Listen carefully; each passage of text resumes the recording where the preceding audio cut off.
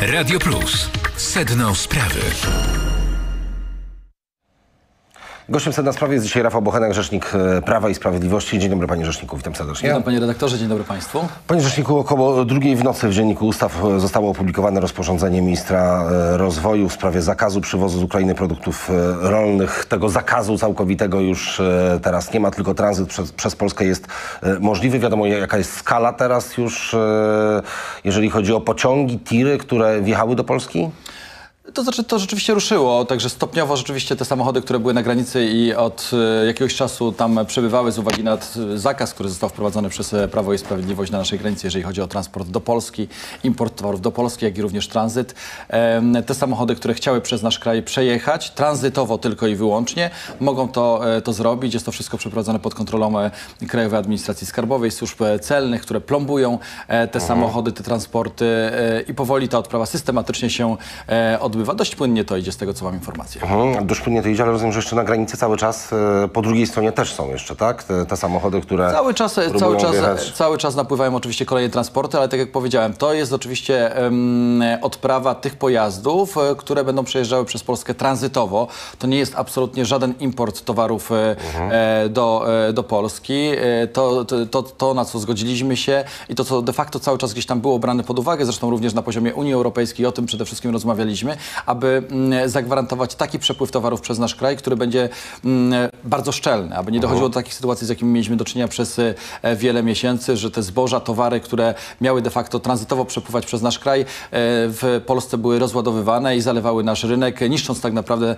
mm, rynek sp- rolno-spożywczy w Polsce, co e, było, co wszystko odbywało się de facto e, kosztem e, polskich rolników. Ale panie rzeczniku, rząd tego nie zauważał? Dlaczego po roku dopiero e, Nie, te dlatego, że- zostały wprowadzone, uszczelnione? Czy rząd uważał, że Nie to jest no, jakiś trzeba- problem, czy e, politycznych strat nie widział? Dlaczego dopiero teraz? Panie redaktorze, my o tym y, alarmowaliśmy już od samego początku Komisję Europejską, bo przyczyną całego tego... No nie, raczej e, zachęcaliście e, Komisję no nie, Europejską panie- do tego, żeby uruchomić e, możliwość e, wywiezienia red- zboża panie, panie redaktorze, my od samego początku na poziomie Komisji Europejskiej na ten temat rozmawialiśmy, apelowaliśmy o podjęcie skutecznych działań, żeby rozwiązać tę sytuację związaną z napływem, niekontrolowanym napływem zboża na teren e, Polski, z uwagi na to, że to zboże, które do Polski napływały od, napływało od strony ukraińskiej, miało trafić do wielu krajów europejskich, ale również na cały świat, przecież do krajów afrykańskich, Ale, azjatyckich. ale panie rzeczniku, ale dzisiaj to nie są działania Komisji Europejskiej, samego- tylko polskiego ale- rządu, tak, konwoje ale- i tak dalej, Ale to nie, to ja już, rząd już, sam ja już wyjaśnię po kolei. Plomby. Ja już, ja już wyjaśnię To po można kolei. zrobić. I rozmawialiśmy od dłuższego czasu, jeżeli Mhm. chodzi o, e, o tę sytuację z Komisją Europejską. Przerzucaliśmy się papierami, pismami, cały czas były prośby o jakieś wyjaśnienia dodatkowe.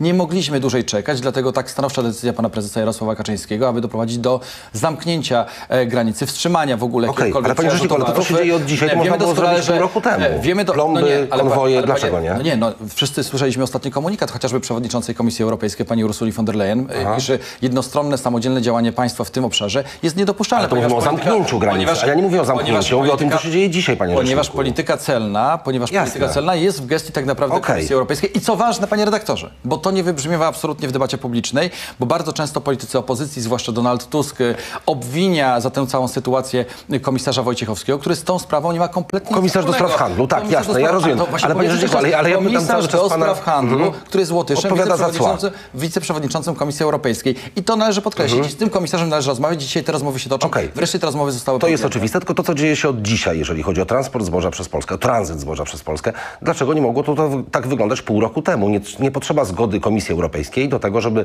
plombować e, te tiry czy wagony ze zbożem, do tego, żeby konwojować e, tiry do granicy albo do portów. Tu Komisja Europejska nie jest potrzebna, wystarczą polskie służby. Panie, panie redaktorze, no właśnie o to chodzi, że te, przedtem ta procedura nie wyglądała w ten sposób. E, Zdaliśmy moje się, pytanie, zdaliśmy się, zdaliśmy, się, zdaliśmy się trochę na te procedury, które były w Komisji Europejskiej i dzisiaj musieliśmy z- wprowadzić własne środki zaradcze. I właśnie w oparciu o te środki, własne środki zaradcze... Ale to e, nie unijne procedury, to polskie nie, procedury, jeżeli chodzi tak, o zgadza się. I dzisiaj, i dzisiaj i o tym właśnie Skarbową? mówię. I o tym właśnie mówię, że dzisiaj jako Polska, jako rząd polski wprowadziliśmy własne dodatkowe środki zaradcze. Musieliśmy e, tak naprawdę wzi- e, wziąć e, sprawy wywozów własne ręce i zająć się mm, tranzytem również e, tych środków, tych e, produktów rolnych z Ukrainy, które mają trafić nie do Polski, ale do całej Europy. I e, gdybyśmy to zostawili dalej tak, jak było, czyli pod kontrolą tylko i wyłącznie Unii Europejskiej, to pewnie do dzisiaj byśmy się borykali z tym problemem. A jednak stanowcze decyzje pana prezesa Jarosława Kaczyńskiego wstrzymały ten niekontrolowany napływ produktów rolnych do Polski. I dzisiaj mamy taki efekt, że rzeczywiście ten tranzyt, który jest uruchomiony od północy, przebiega, ale w sposób bardzo kontrolowany. So jest, te transportery są zaplombowane pod ścisłą kontrolą policji, pod ścisłą kontrolą służby administracji skarbowej. Ja tylko nie wiem skąd y, te oczekiwania, że, że wcześniej Komisja Europejska miałaby dopilnować tego, żeby to zboże przyjechało przez Polskę. Nie e, wiem na podstawie y, panie- czego pan rzecznik opierał, czy rząd opierał te nadzieje, że to Komisja Europejska będzie... Egzekucji przepisów, które już funkcjonują, panie redaktorze. No przecież są określone listy przewozowe, jest polityka celna, którą prowadzi Komisja Europejska i Komisja Europejska nie powinna pozwalać na to, aby określone transporty pod przykrywką tranzytu de facto nagle w trakcie tego tranzytu, który przebiegał przez Polskę, zmieniały swoją destynację, nie trafiały do Niemiec, do Francji, do Hiszpanii, tylko żeby lądowały e, w polskich silosach. I na to na, na pewno nie będzie naszej zgody i dlatego między innymi musieliśmy podjąć działania. Koniec z cwaniactwem niektórych firm, z koniec z cwaniactwem firm związanych z, m, bardzo często z e, politykami PSL-u e, i chcemy, aby polscy rolnicy mogli tutaj handlować i normalnie funkcjonować. Dlatego chodzi. również, panie redaktorze, dzisiaj, i to jest bardzo ważny komunikat, to co chciałem teraz powiedzieć, Mhm. będzie posiedzenie rządu w sprawach związanych chociażby z naszą konwencją, która się odbyła kilka dni temu. Będą przyjęte kolejne rozwiązania O tak, to prawda To już dzisiaj, panie rzeczniku? Dzisiaj tak? tak rzeczywiście odbędzie się posiedzenie rządu. Rozmawiałem z ministrem rolnictwa, panem Robertem Telusa, e, Telusem, który przygotował e, pakiet rozwiązań, e, które mają realizować te obietnice i zapowiedzi, które złożyliśmy podczas konwencji rolnej m, w ubiegłym tygodniu. Będą dopłaty do, do pszenicy. One będą oczywiście w przeliczeniu na hektar, bo tego takie są oczekiwania i e, wymogi Unii Europejskiej. Natomiast de facto będzie się to sprowadzało do tego, iż e, do tony będziemy dopłacali e, e, około 400 zł, także ta cena będzie wynosiła około 1400 zł e, m, za tonę pszenicy. Do innych zbóż również są przewidziane dopłaty, aczkolwiek to dzisiaj jeszcze będzie przedmiotem dyskusji na rządzie, jaka to, jakie to dokładnie będą e, kwoty i będziemy również tutaj wspierać naszych rolników. Będą dopłaty do nawozów, do, do paliwa. Tutaj jest oczywiście kwestia jeszcze notyfikacji do Komisji Europejskiej i liczymy, z tego miejsca, z tego studia chciałem poprosić Komisję Europejską, aby y, sprawnie podjęła się pracy nad tymi notyfi- notyfikacjami, żebyśmy znowu nie musieli czekać 7-8 tygodni na to, aby uruchomić pomoc dla, dla rolników, tak jak to było w przypadku chociażby, chociażby, panie redaktorze, tych 600 milionów, e, wtedy kiedy pan wicepremier Henryk Kowalczyk składał wnioski do Komisji Europejskiej i musieliśmy czekać, uwaga, prawie dwa miesiące na to, żeby Komisja Europejska pozwoliła nam wydać nasze polskie pieniądze na wsparcie dla polskich rolników. Okej, jest panie rzeczniku, ja rozumiem, że- jest pewne, pewien imposybilizm w Unii Europejskiej, kompletna jakaś taka bierność, e, bezwładność, bezwład decyzyjny. Wiele, wielu urzędników... Ale to komisarz Wojciechowski już tam powinien do drzwi odpowiednich komisarzy pukać e, dzisiaj. No chyba e, nie, nie jest to kwestia apelowania z Warszawy, tylko nie za wszystko panie- odpowiada komisarz Wojciechowski, ale jest w stanie chyba lobbować, przyspieszać pracę. drzwi, To chyba jest w stanie do robić. tych drzwi, jak poważna jest sytuacja, e, świadczy chociażby zachowanie nie tylko polskiego rządu, ale wielu, wielu krajów Europy Środkowo-Wschodniej, bo ja przypomnę chociażby o liście m, kilku państw, e, Bułgaria, Rumunia, Węgrzy, Słowacy, e, apelowali już wcześniej, kilka tygodni temu, razem z panem. Mateuszem Morawieckim do Komisji Europejskiej o podjęcie działania i niestety tego działania nie było. Wszyscy, wszyscy urzędnicy brukselscy na, czele, na czele z panią przewodniczącą udawali, że problemu nie ma, ale dopiero wtedy, kiedy zostały podjęte przez polski rząd, przez pana prezesa Jarosława Kaczyńskiego stanowcze decyzje, ten problem nagle okazał się dużym problemem dla Unii Europejskiej i w ogóle Unia Europejska e, zainteresowała się tą sprawą, bo pewnie do dzisiaj, do dzisiaj, panie redaktorze, te nasze apele, nasze listy na nic by się zdały, dalej byśmy się przerzucali papierami, pismami, nie mieliśmy na to czasu i dlatego musieliśmy podjąć się zdecydowanych, radykalnych działań m, po to, żeby wymusić na Komisji Europejskiej tę, tę reakcję. Y, Warto dodać również, że w ślad za nami poszły również inne kraje. Panie rzeczniku, jeżeli chodzi o to Słowacja, przedstawienie się pismami, kiedy Bułgaria. te pierwsze pisma polskiego rządu do Komisji Europejskiej? e, Panie redaktorze, już od wielu miesięcy, wielu miesięcy trwały, trwała korespon- Ale od kiedy? korespondencja. Kiedy i jakie pismo, które Też- było pierwsze pismo w jakiej Panie- sprawie panie- do Komisji e, Europejskiej? Panie redaktorze, ja te, no, nie pracuję w tym momencie w rządzie, ale wiem, że Okej. już takie rozmowy trwały od wielu, wielu miesięcy. E, były, była korespondencja mailowa, były, Bo były ja wiem, że. Ministerstwo Rolnictwa do Ministerstwa Rozwoju pisało, to wiem w styczniu, ale Były- z Ministerstwa Rozwoju dalej nic nie wyszło do Były, Brukseli. były panie, panie redaktorze, były rozmowy również e, na szczeblu, na najwyższych szczeblach Mhm. e, pana premiera, ministrów, którzy bardzo często uczestniczą przecież w Radach Unii Europejskiej i ten temat był wielokrotnie poruszany. To panie rzeczniku, komisarza Wojciechowskiego jeszcze zapytam, bo Donald Tusk zaapelował o jego odwołanie, ale też wasi koalicjanci z Solidarnej Polski no, nie, nie są łaskawi dla pana komisarza i też nawet w tym studiu wiceminister rolnictwa, zresztą Janusz Kowalski, bardzo ostro się na jego temat e, wypowiadał i, krytykował jego działania, czy brak działań, zdaniem e, ministra e, Kowalskiego. Czy jest możliwe odwołanie komisarza Wojciechowskiego? Nie, No, oczywiście to nie wchodzi w grę. Ja rozumiem, że oczywiście każdy polityk, każda formacja polityczna może mieć własną ocenę mm, działań, mm, działań i komisarza, i Komisji Europejskiej, ale tak jak powiedziałem panu redaktorowi przed momentem, za sprawę ceł, za sprawę uwolnienia tak naprawdę ceł, zniesienia ceł, kontyngentowania e, towarów z Ukrainy, nie odpowiada nie komisarz Wojciechowski, a de facto e, komisarz Dąbrowski, który jest Łotyszem, wiceprzewodniczącym Komisji Europejskiej. Mm, e, Warto zwrócić uwagę, że wiele decyzji e, w zakresie polityki celnej zapada również kolegialnie na Komisji Europejskiej. Są to mm, głosowania większościowe, w związku z tym nawet głos sprzeciwu pana komisarza Wojciechowskiego nic by tutaj pewnie nie dał. Dlatego Tutaj bardzo dobrze, że doszło do tak stanowczych działań, bo zwróciliśmy uwagę Komisji Europejskiej na bardzo poważny problem nie tylko Polski, ale całej Europy Środkowo-Wschodniej i wielu krajów przyfrontowych, które borykają się z zalewem e, ukraińskiej produkcji, e, która destabilizuje ich rynek e, wewnętrzny rolno-spożywczy. To na koniec jedna, może nie taka super istotna sprawa, ale też interesująca.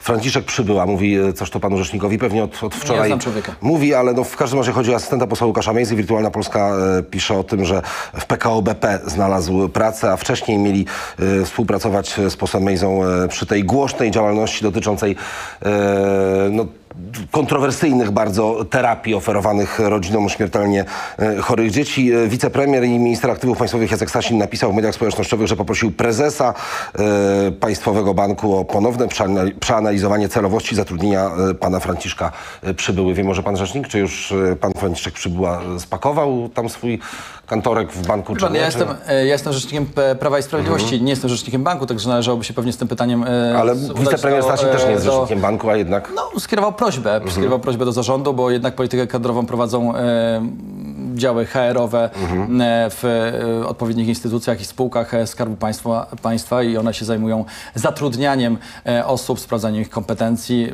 A klucz partyjny w takich państwowych, no to jest właśnie przykład na to ewidentny, że redaktorze, no, osoby z klucza partyjnego właśnie w państwowych instytucjach... No, myślę, że reakcja pana premiera Stasina wskazuje na to, że właśnie ten klucz partyjny kompletnie nie powinien być brany pod uwagę Mhm. i wręcz tutaj nie miał nic, nic wspólnego z tymi decyzjami. Panu premierowi Stasinowi to ewidentnie się e, nie podoba. A panu rzecznikowi? decyzje, natomiast decyzje, natomiast decyzje, decyzje, tak jak powiedziałem przed momentem, Mhm. kadrowe, co do zatrudnienia w poszczególnych instytucjach i spółkach Skarbu Państwa zapadają w tychże właśnie instytucjach. No my jako partia w to kompletnie nie ingerujemy. A ocena pana rzecznika jaka jest e, Nie tego, znam że... kompletnie ko- człowieka, nie znam kompetencji tego człowieka, także nie chcę się na ten temat wypowiadać. A mówił to e, Rafał Bochenek, rzecznik rządu. Kończymy radiową część naszej Prawa rozmowy. Internetowa Prawa i. Sprawiedliwości. Ach, oczywiście, Prawa i Sprawiedliwości, rzecznikiem rządu niezmiennie Piotr Miller, ale Rafał Bochenek z nami po krótkiej przerwie. Słuchaczom Radia Plus życzymy dobrego dnia i miłego weekendu. Radio Plus. Sedno sprawy. Rafał Bochenek, Rzecznik Prawa i Sprawiedliwości, cały czas jest e, z nami. Panie Rzeczniku, Platforma Obywatelska buduje swoją kampanię na e, dwóch e, postaciach. No, do tej pory Donald Tusk taką samotną, wydawało się trochę walkę, toczył tam w tle, dalej kolejne postaci. No teraz Rafał Trzaskowski mocno do niego dołączył. Jeżeli chodzi o Prawo i Sprawiedliwość, to jest premier Mateusz Morawiecki i kto jeszcze tak naprawdę będzie filarem tej kampanii wyborczej? Prezes PiS Jarosław Kaczyński? Znaczy, panie redaktorze, jeżeli chodzi o Platformę, bo od tego pan zaczął, to może się odniosę w dwóch zdaniach. Ym, No, myślę, że największa walka to y, nie walka mm, e, Platformy z, z kimkolwiek innym, czy z inną opcją polityczną, z inną partią, ale walka pomiędzy Trzaskowskim a Tuskiem, bo to wszyscy doskonale wiemy, że chemii i miłości między tymi dwoma panami nie ma i pewnie to, co się wydarzyło w ostatnich dniach, to, to, to, to wspólne takie, prawda, e, wydarzenie e, miało oczywiście stworzyć wrażenie jakby jedności, natomiast wiemy doskonale, że tej współpracy między Tuskiem a Trzaskowskim nie ma. Jest e, ewidentna jakaś rozgrywka wewnętrzna partyjna. To już oczywiście zeszło bardzo mocno do dołów partyjnych w Platformie Obywatelskiej i wywoływało gigantyczny niepokój, stąd też panowie musieli pokazać się razem, aby uspokoić nastroje, ale wiemy doskonale, że każdy z tych panów gra e, na siebie. Natomiast e, no, Platforma Obywatelska, tak, P- Platforma Obywatelska stawia na te dwa nazwiska, no bo innych charyzmatycznych postaci nie ma. U nas zawsze to była gra drużynowa, mamy mocne nazwiska, mocnych polityków, na czele oczywiście z naszym liderem, panem prezesem Jarosławem Kaczyńskim. Ale zdrowie pozwoli e, panu prezesowi włączyć się w tę kampanię tak Pan prezes e, Jarosław Kaczyński? Panie, panie redaktorze, Pan prezes Jarosław Kaczyński od samego początku tak naprawdę koordynuje działania e, tego roboczego sztabu, który w tym momencie funkcjonuje na ulicy m, Nowogrodzkiej w partii naszej, którego zresztą jestem e, e, członkiem. Na bieżąco jesteśmy w kontakcie, wyznacza kierunki naszych e, działań. E, Wiele sam podejmuje szereg inicjatyw i będzie aktywny, cały czas zresztą jest aktywny we wszystkich naszych działaniach i, e, i uczestniczy w podejmowaniu decyzji kierunkowych e, e, co do pewnych inicjatyw. Natomiast e, jeżeli chodzi o aktywność taką w terenie, to już najbliższy weekend na Lubelszczyźnie pan prezes Jarosław Kaczyński Janowie, spotka, tak? się, Chyba. spotka się z, z wyborcami. Będziemy rozmawiali o kolejnych ważnych e, sprawach dla Polski, dla Polski samorządowej. Ale te twarze najważniejsze Prawa i Sprawiedliwości to jest e, premier Mateusz Morawiecki, prezes Jarosław Kaczyński. To są te dwie osoby, czy jeszcze e, premier Beata Szydło? Jak to wygląda, jeżeli chodzi o no, lokomotywy tej e, kampanii? Pa, panie redaktorze, to czy my wystartowaliśmy kilka tygodni temu z taką szeroką akcją Przyszłość e, to Polska i tam mieliśmy kilka zasadniczych filarów, obszarów istotnych z punktu widzenia obywateli, które chcielibyśmy, aby były dyskutowane w tej kampanii, bo chcemy, żeby to była kampania merytoryczna. Rozmawialiśmy o gospodarce. Twarzą tego filaru był pan premier Mateusz Morawiecki. Były sprawy społeczne. Tutaj osobą wiodącą pani premier Beata Szydło. Sprawy bezpieczeństwa. Pan e, Premier Błaszczak, premier tak. Błaszczak. Sprawy bezpieczeństwa energetycznego i w ogóle dywersyfikacji energetycznej, budowania suwerenności energetycznej Polski. Pan premier Sasin. W związku z tym tych nazwisk mocnych, pan premier Gliński, sprawy kultury, tych nazwisk, które były zaangażowane w e, tę naszą e, akcję e, jest naprawdę bardzo dużo. To są oczywiście czołowi politycy, natomiast mamy szereg bardzo pracowitych, znaczących parlamentarzystów, którzy w swoich lokalnych ojczyznach są takimi opinion leaders i na pewno będziemy prosili i apelowali o ich zaangażowanie. Zresztą to robią bez jakichś większych próśb, robią to chętnie, angażują się i zawsze graliśmy drużynowo, zawsze, zawsze graliśmy, panie redaktorze, drużynowo i tak również będzie wyglądała ta kampania. Kiedy ruszą rozmowy z koalicjantami Prawa i Sprawiedliwości? Bo pan mówił o tych e, złych, pana zdaniem, relacjach e, w Platformie, no to e, u was też między Prawem i Sprawiedliwością i Solid- Solidarną Polską no, napięcia są ewidentne, że o tych personalnych relacjach Mateusz Morawiecki, Zbigniew Ziobro, tylko wspomnę, one też do idealnych nie należą. Kiedy rozmowy na temat list? Bo, bo rozmawiałem z Pawłem Kukizem w tym tygodniu, mówił, że w przyszłym tygodniu spotka się z panem prezesem i właśnie już o tym będzie rozmawiał. No to, to jest być może agenda, którą przygotował sobie pan Paweł Kukiz na spotkanie z panem e, prezesem Jarosławem Kaczyńskim. Natomiast e, jeszcze jakichś decyzji wiążących, jeżeli chodzi o e, formułę startu Zjednoczonej Prawicy, nie ma. Na pewno chcielibyśmy iść oczywiście możliwie szerokim obozem politycznym do tych wyborów. Ta Ale formuła jak pan słyszy, Solidarna Polska mówi, że przygotowuje samo, sa, listy po prostu swoje do samodzielnego startu. Prawo i Sprawiedliwość też jest do tego gotowe? Czy czekacie na Solidarną Panie, Polskę? panie redaktorze, to znaczy nasze stanowisko jest takie, no chcielibyśmy na pewno iść możliwie szerokim obozem e, politycznym do tych wyborów. Ta formuła współpracy jako em, obóz Zjednoczonej Prawicy sprawdziła się, pokazała, że możemy podejmować dobre, skuteczne decyzje i szybkie decyzje w czasach, zwłaszcza w czasach kryzysu. E, to był rząd na trudne czasy, obóz polityczny na trudne czasy e, i ta formuła e, no, jakby była efektywna e, w, w tych No, ostatnich wyborów latach. tak, no. Przez Co by- co by- lat co by- prawie wszystkie wygraliście, co by nie prawda? mówić, poza tym rzeczywiście wiele wyborów e, wygraliśmy. To dlaczego Natomiast- ciągle nie ma natomiast, decyzji? Natomiast panie, panie redaktorze, no, y, oczywiście kwestia decyzji, e, która zapadnie jakby w kierownictwie Prawa i Sprawiedliwości, to jest jakby jedna rzecz, natomiast drugą rzeczą jest to, e, jaka będzie decyzja naszych potencjalnych koalicjantów, bo przy, nikt ni- nikogo do niczego nie zmusza. Natomiast to jest kwestia oczywiście zawsze ustaleń dwóch stron, do tanga trzeba dwojga i to wszystko przed nami. Mhm. Niczego nie, niczego, y- niczego nie wykluczamy. Myślę, że e, w najbliższych tygodniach, miesiącach będą zapadały e, takie decyzje. No nie no, w miesiącach to już panie rzeczniku W trochę przesada. tygodniach, dobrze, okej, ograniczmy się w najbliższych tygodniach. Na pewno już e, Ale rozmowy koalicyjne kiedy ruszą? W maju? Panie redaktorze, e, nie ma jeszcze jakiegoś e, konkretnego e, terminu. Mhm. Na pewno będziemy chcieli o, t- o tych sprawach rozmawiać. To są sprawy oczywiście ważne, formuły, formuła startu w wyborach parlamentarnych, ale tak jak powiedziałem, e, to melodia najbliższych tygodni. Ale to, że Solidarna Polska e, przygotowuje już e, te listy, bo no, wprost o tym mówią przecież, e, p- pewnie też do pana rzecznika dotarły takie e, słowa, to jest jakiś sygnał wysłany Prawu i Sprawiedliwości, że e, no właśnie, wy też musicie na taki wariant się przygotowywać, e, samodzielnego pójścia na wybory, panie Ale też rzeczniku? nie słyszałem, panie redaktorze, żeby z ust Solidarnej Polski padały jakiekolwiek sformułowania, e, że wykluczają start z Prawem i no, Sprawiedliwością. jako Także- wariant podstawowy Prawem i traktują Sprawiedliwością, wspólny także- start, to prawda, ale... Do tego poczekajmy na ostateczne ustalenia i decyzje. No, y, Będą rozmowy jednej i drugiej strony. Tak jak powiedziałem, to musi być obopólna decyzja jednej i drugiej partii. E, Do tanga trzeba dwojga i tutaj nikt nikomu niczego nie będzie narzucał.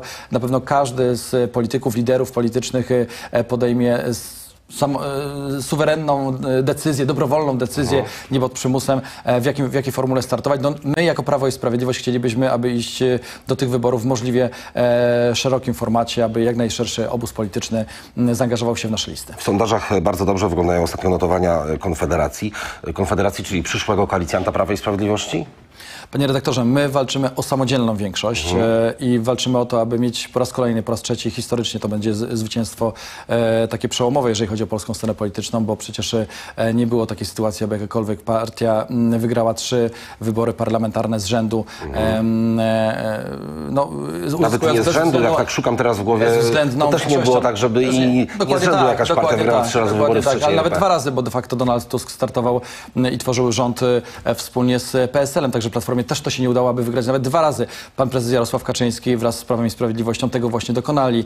E, Dwa, e, dwie kadencje. No, wygrał z wybory w tym sensie, że najlepszy E, wynik uzyskał e, Donald Tusk e, dwa razy. No tak, ale jednak potrzebował koalicjanta PSL-u. Pan prezes Jarosław Kaczyński sformułował tak listy Zjednoczonej Ale Prawo i Sprawiedliwość ma zdolność koalicyjną, będzie aby, miała po aby wygrać te wybory już dwukrotnie. Teraz stoimy przed gigantyczną, historyczną szansą, aby wygrać te wybory po raz trzeci i robimy wszystko, aby, aby rządzić samodzielnie. Okej, to panie rzeczniku, w inną stronę jeszcze pójdźmy na koniec. Trybunał Konstytucyjny e, w maju, pod koniec maja, e, chyba nawet 30, ma, teraz powiedziałem jak, e, jak Stanisław w tym w rejsie, tak precyzując tę datę. Panie rzeczniku, w każdym razie ma pan pewność, że Trybunał rozpatrzy sprawę wniosku pana prezydenta dotyczące, wniosku dotyczącego Sądu Najwyższego?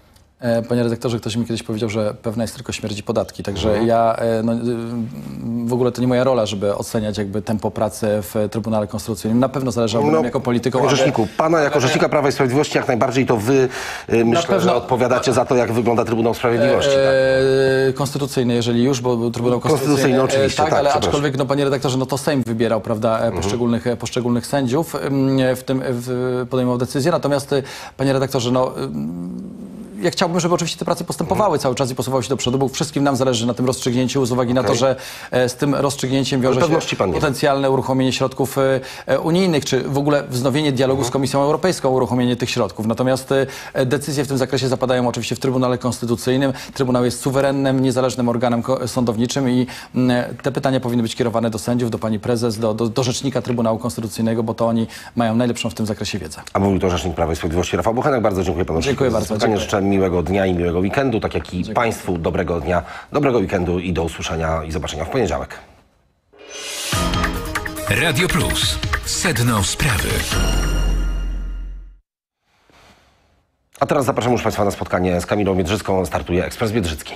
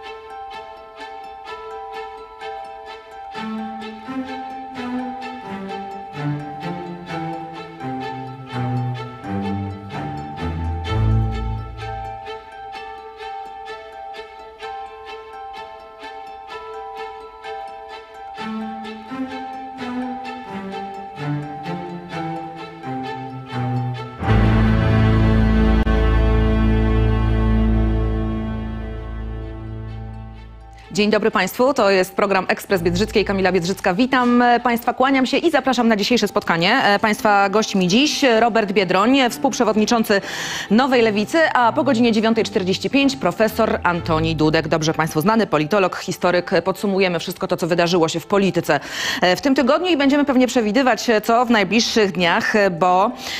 No właśnie, jedni na e, opozycji coraz lepiej współpracują, z drugimi jest problem, ale o tym z Robertem Biedroniem także już za chwilę. Zaczynamy jednak od e, aktualności, dzień jak co dzień.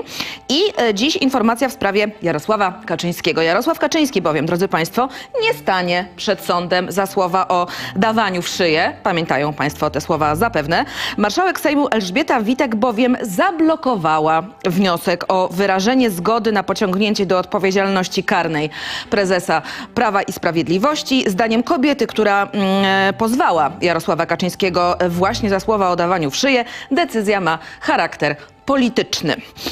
Komisja Europejska nie ukarze Polski za zakaz e, importu produktów e, rolnych z Ukrainy. E, Wręcz przeciwnie. Jak się okazuje, proponuje dość przybliżony mm, zakaz unijny, obejmujący już wszystkie państwa członkowskie.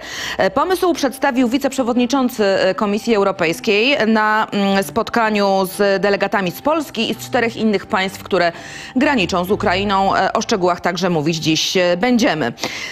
I to jest ten moment, e, taka nasza umowa. Jeżeli Państwo stoją, to proszę usiąść, bo teraz będzie naprawdę gruby kaliber informacji.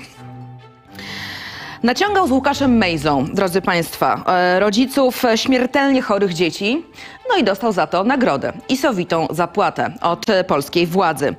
Franciszek Przybyła, asystent e, posła Łukasza Mejzy, e, który namawiał na niesprawdzoną terapię za ogromne pieniądze. Właśnie rodziców między innymi śmiertelnie chorych dzieci, dostał właśnie posadę w Państwowym Banku. W banku PKO BP. To są informacje wirtualnej Polski i muszą Państwo przyznać, że no, chyba tylko włosy z głowy przyszło nam rwać w tej sytuacji. To jest Ekspres Biedrzyckiej, startujemy.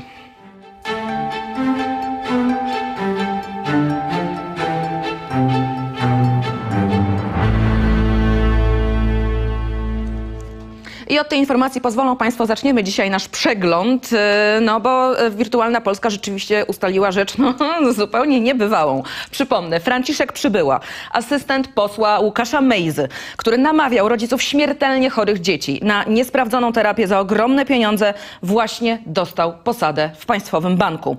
Jestem w szoku. Ten człowiek powinien ponieść karę, a dostał ciepłą posadkę, e, mówi matka, której Przybyła obiecywał uleczenie nieuleczalnej choroby syna. W tekstach, e, jak ludzie Mejzy szukali klientów, e, wstrząsające relacje rodziców oraz jak Łukasz Mejza postanowił zarobić na cierpieniu, Wirtualna Polska ujawniła, przypomnę tylko Państwu, że założona przez Mejzę firma Vinci No Clinic obiecywała leczenie umierających na raka i stwardnienie rozsiane, chorych na Alzheimera, Parkinsona oraz inne nieuleczalne choroby. W mailach do rodziców dzieci chorych e, Franciszek Przybyła, m, o którym dzisiaj mówimy, przedstawiał się jako konsultant medyczny. E, Wirtualna Polska rozmawiała też z kilkoma matkami, które zapamiętały tego pana e, i była wśród nich pani Anita, matka chłopca chorego właśnie na mózgowe porażenie dziecięce. Ciężko mi o tym czytać. E, I padaczkę oraz pani Paulina, matka dziewczynki chorej na mukowiscydozę. Współpracownik Mejzy e, obie namawiał na kontrowersyjną terapię z Meksyku za olbrzymie pieniądze, nie zważając na fakt, że współczesna medycyna nie zna sposobów walki z e, tymi chorobami. No i z informacji w wewnętrznym systemie PKO BP, drodzy Państwo, wynika, że współpracownik posła Mejzy, pan Przybyła, dostał pracę w tym banku. W tej chwili, po tym wszystkim, e, były konsultant medyczny mm, został teraz specjalistą w zespole organizacji w pionie zarządzania personelem w największym polskim banku kontrolowanym przez państwo. W systemie e, jako jego miejsce pracy, to jest też ciekawe, wpisano biurowiec przy ulicy Chmielnej w Warszawie, ale w rzeczywistości przybyła pracuje zdalnie. I pracuje zdalnie, drodzy Państwo, z Zielonej Góry. Gdzie jest czyj okręg wyborczy? Łukasza Mejzy, jak nie trudno się domyślić. E, Czym dokładnie zajmuje się w PKO BP? Przybyła nie odpowiedział na to pytanie i inne pytania, które mm, dziennikarze do niego e, wysłali. Bank z kolei odpisał, że nie komentuje spraw kadrowych. Hulaj dusza, drodzy Państwo. Od tego mają Państwo czat. Jeżeli chcą Państwo skomentować tę konkretną zmianę kadrową, zapraszam. Prezes Kaczyński nie odpowie za swoje słowa w sprawie e, dawania w szyję. To już Państwu mówiłam. O Komisji Europejskiej też już Państwu opowiadałam. Aha, i tu jeszcze jedna ciekawa informacja. Siatka szpiegowska w Polsce. Są kolejne zatrzymania. 12 osób podejrzanych o współpracę z rosyjskim wywiadem trafiło do aresztu. E, W ostatnim czasie polscy funkcjonariusze zatrzymali kolejne trzy osoby. Zatrzymani mieli rozpoznawać trasy dostaw pomocy wojskowej dla Ukrainy i szykować w Polsce akcje dywersyjne. Śledczy z Lubelskiego Wydziału Prokuratury Krajowej przedstawili im zarzuty działania w zorganizowanej grupie przestępczej i prowadzenia działalności na rzecz obcego wywiadu przeciwko Rzeczpospolitej Polskiej. I jeszcze e, jedna informacja. Niemcy wycofują z Polski patrioty. Padła już konkre- e, konkretna data. E, Zgodnie z aktualnymi planami Bundeswehry do czerwca niemiecki system obrony powietrznej Patriot zostanie wycofany z terytorium Polski. E, O planach poinformowano kraje, e, powiedział rzecznik niemieckiego Ministerstwa Obrony, cytowany w piątek przez e, grupę medialną, e, jedną z niemieckich grup medialnych. Ale to nie jest tylko decyzja wobec Polski, także dotyczy Słowacji, ale Słowacja miała tę umowę, w cudzysłowie tak to nazwijmy, do e, końca roku. E, Reuter przypomina, że Niemcy wysłały pierwsze jednostki Patriot do Polski w styczniu, natomiast na Słowację dotarły one z krajów partnerskich NATO w marcu ubiegłego roku, krótko po rozpoczęciu wojny w Ukrainie, żeby wzmocnić e, obronę wschodniej flanki sojuszu. I wiemy też, że mm, mm, zaraz, bo tutaj szukam jeszcze dla Państwa jednej informacji. Aha, jeżeli sytuacja na to pozwala, to zmiana ma sens, tak e, stwierdziła mm, e, jedna z e, pracowniczek Komisji Obrony Niemieckiej i dodała, że potrzebujemy elastyczności, ponieważ nie mamy nieskończonego sprzętu. I jeszcze dodam, że propozycja rozlokowania niemieckich patriotów w Polsce została wysunięta przez Niemcy, przepraszam, po upadku rakiety w przygranicznym przewodowie, pamiętają Państwo, 15 listopada e, ubiegłego roku. No i jeszcze jedna informacja. Pamiętają Państwo, jak rozmawialiśmy o tym, że mm, Glapińskiego prezesa Adama inflacja się nie ima, bo prezes Glapiński Adam e, otrzymał w ubiegłym roku e, mm, wyższą pensję, e, no nawet przekraczającą wysokość inflacji. W związku z tym może spać spokojnie. Ale tymczasem mamy informację, że e, Narodowy Bank Polski podał wyniki za rok 2022, no i okazuje się, że odnotował dużą stratę. Narodowy Bank Polski miał e, w zeszłym roku prawie 17 miliardów złotych straty. E, To dużo gorszy rezultat niż w 2021 roku, kiedy zysk wyniósł prawie 11 miliardów złotych. To tak tylko zostawiam Państwa z tą informacją. Już za chwilę tutaj u nas w studio Robert Biedroń. Zapraszam. Platforma Obywatelska razem z całą opozycją w Parlamencie Europejskim przegłosowali plan, plan nałożenia gigantycznych podatków na Polaków. 180 miliardów euro do 2030 roku Polacy mają zapłacić za pakiet Fit for 55, który jest poparty przez polską opozycję w Parlamencie Europejskim.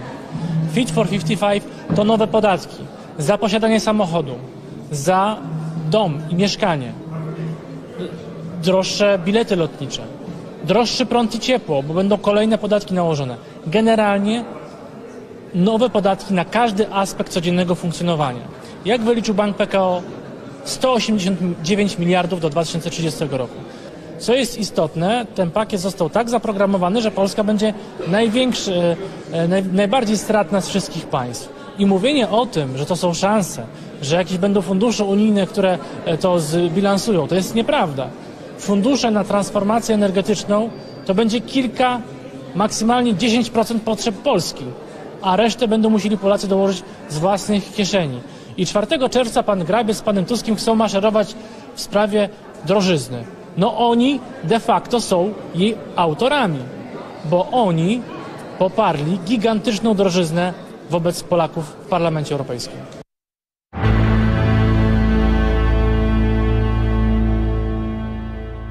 Państwa gościem Robert Biedroń, współprzewodniczący Nowej Lewicy, eurodeputowany. Dzień dobry. Dzień dobry pani redaktor, dzień dobry państwu. No to jak to jest, e, e, panie pośle, pana zdaniem z tą aferą zbożową? Bo mm, oczywiście bardzo dużo e, się wydarzyło. Ogromna fala krytyki spadła na rząd. Tymczasem okazuje się, że Komisja Europejska nie tyle, że nawet nie ukarze Polski za ten zakaz importu produktów rolnych z Ukrainy, ale proponuje bardzo zbliżony zakaz dla całej Unii. Czyli rację miał pan minister Robert Telus, mówiąc, że wszyscy biorą z nas przykład.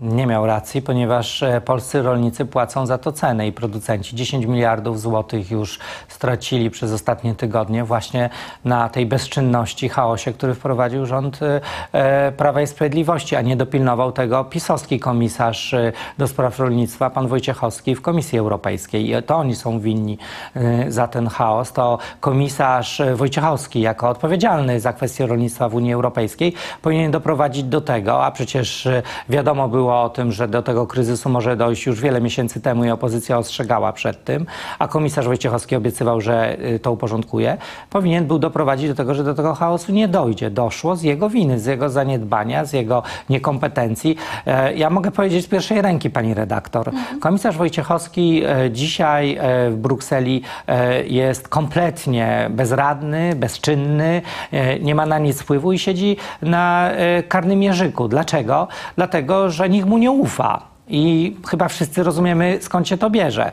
Jeżeli przez lata Prawo i Sprawiedliwość e, obraża Unię Europejską, pani Pawłowicz nazywa flagę Unii Europejską szmatą, prezydent mówi, że to jest wyimaginowana wspólnota, politycy Prawa i Sprawiedliwości mówią, że to jest okupant bruk brukselski, to proszę się nie dziwić, że po tym wszystkim, co mm, Unii Europejskiej zrobił PiS, a przecież e, nie tylko wspomnę o e, e, łamaniu praworządności, ale na przykład o tym, że nie jest w stanie sięgnąć nawet po środki unijne, co jest w naszym wspólnym interesie, żeby te środki były. Po tym wszystkim e, to zaufanie jest bardzo ograniczone. I dzisiaj jak patrzymy, i pani redaktor może sięgnąć, a sięga po dowolne, e, po dowolne medium, kto dzisiaj negocjuje sprawy dotyczące rolników w Polsce?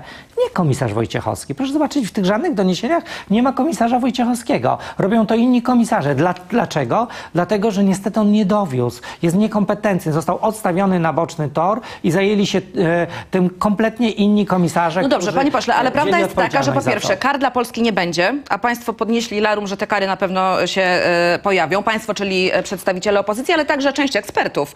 I po drugie, no jednak będzie dość podobny mechanizm zastosowany w całej Unii Europejskiej, czyli ten pomysł zakazu e, importu no, nie był zły, jak rozumiem, Nie, tak? nie, nie, chwileczkę. Ten e, zakaz importu dotyczył będzie czterech e, e, produktów. Tak. Będzie dotyczył kukurydzy, będzie dotyczył e, słonecznika, będzie dotyczył jeszcze dwóch rodzajów zbóż. Mhm. Więc zakaz jest bardzo ograniczony i on nie rozwiązuje sytuacji. Co trzeba zrobić? I Polski rząd powinien się tego domagać. Po pierwsze, Unia Europejska powinna skupić wszystkie te produkty, które są możliwe do skupienia i przetransportować je tam, gdzie są potrzebne. Hiszpania zgłasza zapotrzebowanie na zboże, także z Polski i z Ukrainy. Trzeba tam dostarczyć. E, Afryka głoduje. Prawie miliard ludzi na świecie dzisiaj zmaga się e, e, z problemami dotyczącymi głodu.